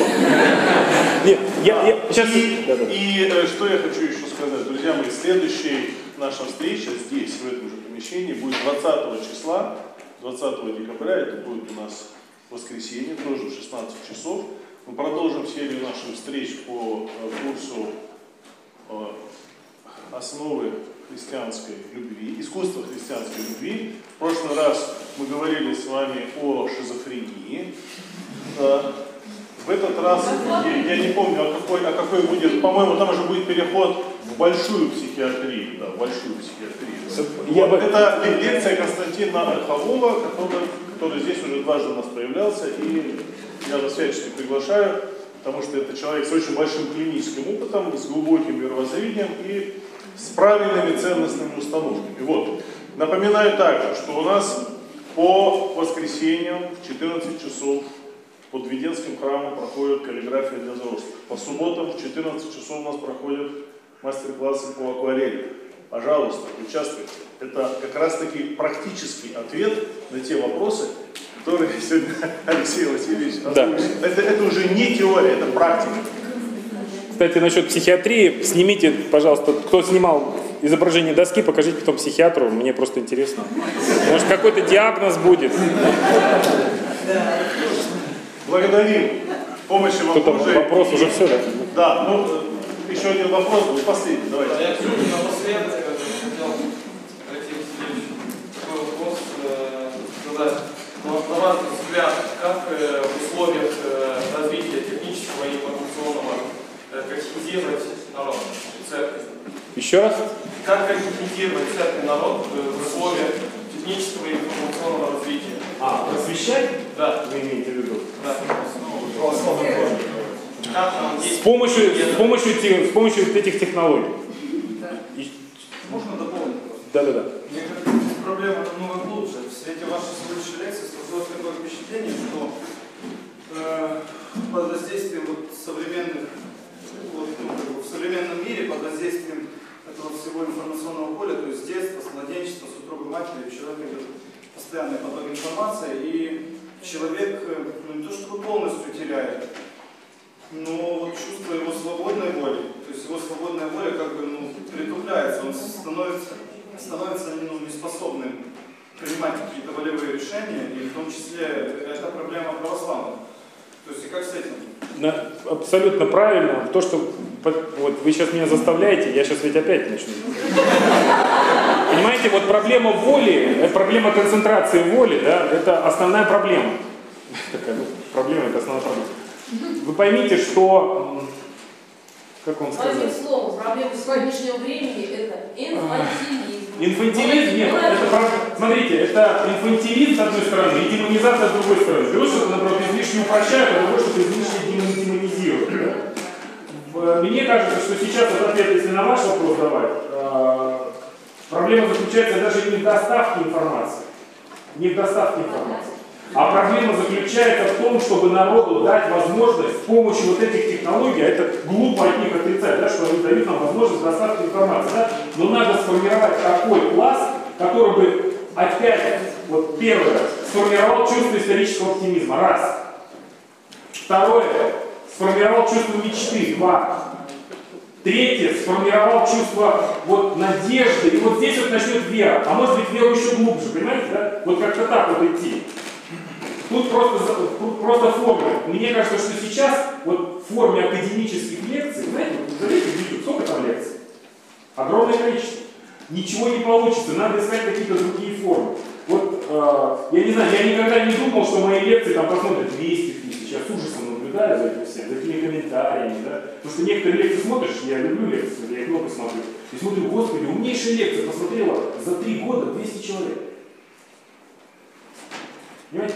А я вдруг почувствовал, я разные педагогические эксперименты проводил, ну, со своими там, и так далее, там. я вдруг почувствовал, что академическая лекция сейчас, она не работает. Вот когда вы выходите на уровень просвещения, да, вот как я сейчас встал, вот я один, вот, а вас вот, и вот начинаешь вот что-то говорить, вот академически, вот так, да, перелистывая, да, одно, другое, третье, изредка выходя к доске, или вот э, эти слайды постоянно, это не работает сейчас. Надо искать какие-то другие формы. И нам как раз помощь могут быть вот эти технологии. Я чего еще не сказал, вот эта проблема все ведет. Первое, выход, это управление волей, вот эти вот процессы, да, вот формирование воли, управление. А второе еще э, такой достаточно страшный момент, что как, с чего можно Запад понять? Запад это гности, гностики, это гностический, гностический проект. Это сейчас вот настолько очевидно видно. Понимаете, мы сейчас сталкиваемся с гностицизмом в, чист, в чистом виде. Я просто мог бы какие-то оккультные вещи привести, но вот не я не хочу, более мозг. Но это страшные вещи, потому что, вот, например, я маленькую ремарочку вам, хотя, может, надо так отпустить или ничего. Маленькую ремарочку, смотрите, вот задаем вопрос, а зачем вот это Кончита Вурст? Зачем вы хотите построить андрогинное человечество? Они всерьез говорят о построении андрогинного человечества. Что такое андрогин? Это гермафродит. А вы так, что такое андрогин? Это гермафродит. Ну это сделано. А зачем? Они говорят, а вот мы лучше вас, чем вы христиане нет. Они говорят, первоначально Адам был Бога. в Норвегии почти построили. А, да, а в Норвегии это называется, это называется, есть такой экономист Хази, я удивился, у него статья «Социальный сатанизм». О социальной системе Норвегии, где они проектируют фабрики по воспитанию. И у них это идет целый проект. И когда вы мне говорите, что нет никакого коллективного Запада, послушайте, ну, я как-то так не согласен со всем. Потому что у них наблюдается признак плановости вот этого всего. Фактически у них технология разрушения человека, человека как личности. Это раз. Слушайте, у меня замечательная идея появилась. А почему дискуссию между вами и Петром не формализовать в виде определенного текста, в виде каких-то тезисов? Потому Ой. что это, на самом деле, это как раз и позволяет выйти на уровень академичности. То есть, когда за каждое слово мы убираем сразу эмоциональную составляющую и неизбежную, естественно, вовлеченность аудитории в состояние того, кто говорит, мы оставляем действительно некий сухой остаток, с которым можно уже работать в пространстве академической науки. Мне кажется, это будет очень правильный, хороший диалог и продуктивный Потому что, естественно, каждый озвучивает ту точку зрения, ту, ту точку зрения, которую он выстрадал. Это все не безразличные вещи. Не безразличные ну, вещи. Да. Так что приглашаем вас к активному участию. Да, я согласен. Давай. Просто у меня сейчас докторская моя, там, писать. Ну. Все-таки откройте тайну. Какая у вас была тема вашей тема диссертации была, не буду называть конкретно, но так, это насильственные преступления, совершаемые а, поклонниками или нет, совершаемые в сектах, исповедующих культ зла. Первое слово какое? Насильственные. Насильственные преступления. То есть, короче говоря, о ритуальных убийствах, да? Ну, ну в общем, да.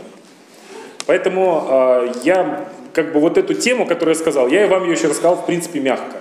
Потому что в ней усматривается, понимаете, вот эту линию можно вести от э, буквально разрушения Византии, потому что проект как таковой, западный, можно вести от разрушения Византии, формирования черной венецианской аристократии, формирование Ост-Индийской, э, э, как черная венецианская аристократия, как она переехала уже в Великобританию, там, послушайте, есть целые, вот есть, я просто, вот есть целые такие точки, которые вот, они соединяются. Потом Ост-Индийская компания, потом это, это, это, это, это, это. сожалению, есть огромное количество вопросов. У меня личное такое впечатление, что есть некоторые такие силы, есть некоторые такие силы, которые, ну, я это выражу словами Блаватской. Блаватскую как-то спросили, а зачем вы создали теософию? Она сказала, единственная цель теософии – это смести христианство с лица земли. Вот и все. Ну, Господь сказал... Да, ничего у него не получится. Ничего Да, не получится. ничего не получится. Благодарю.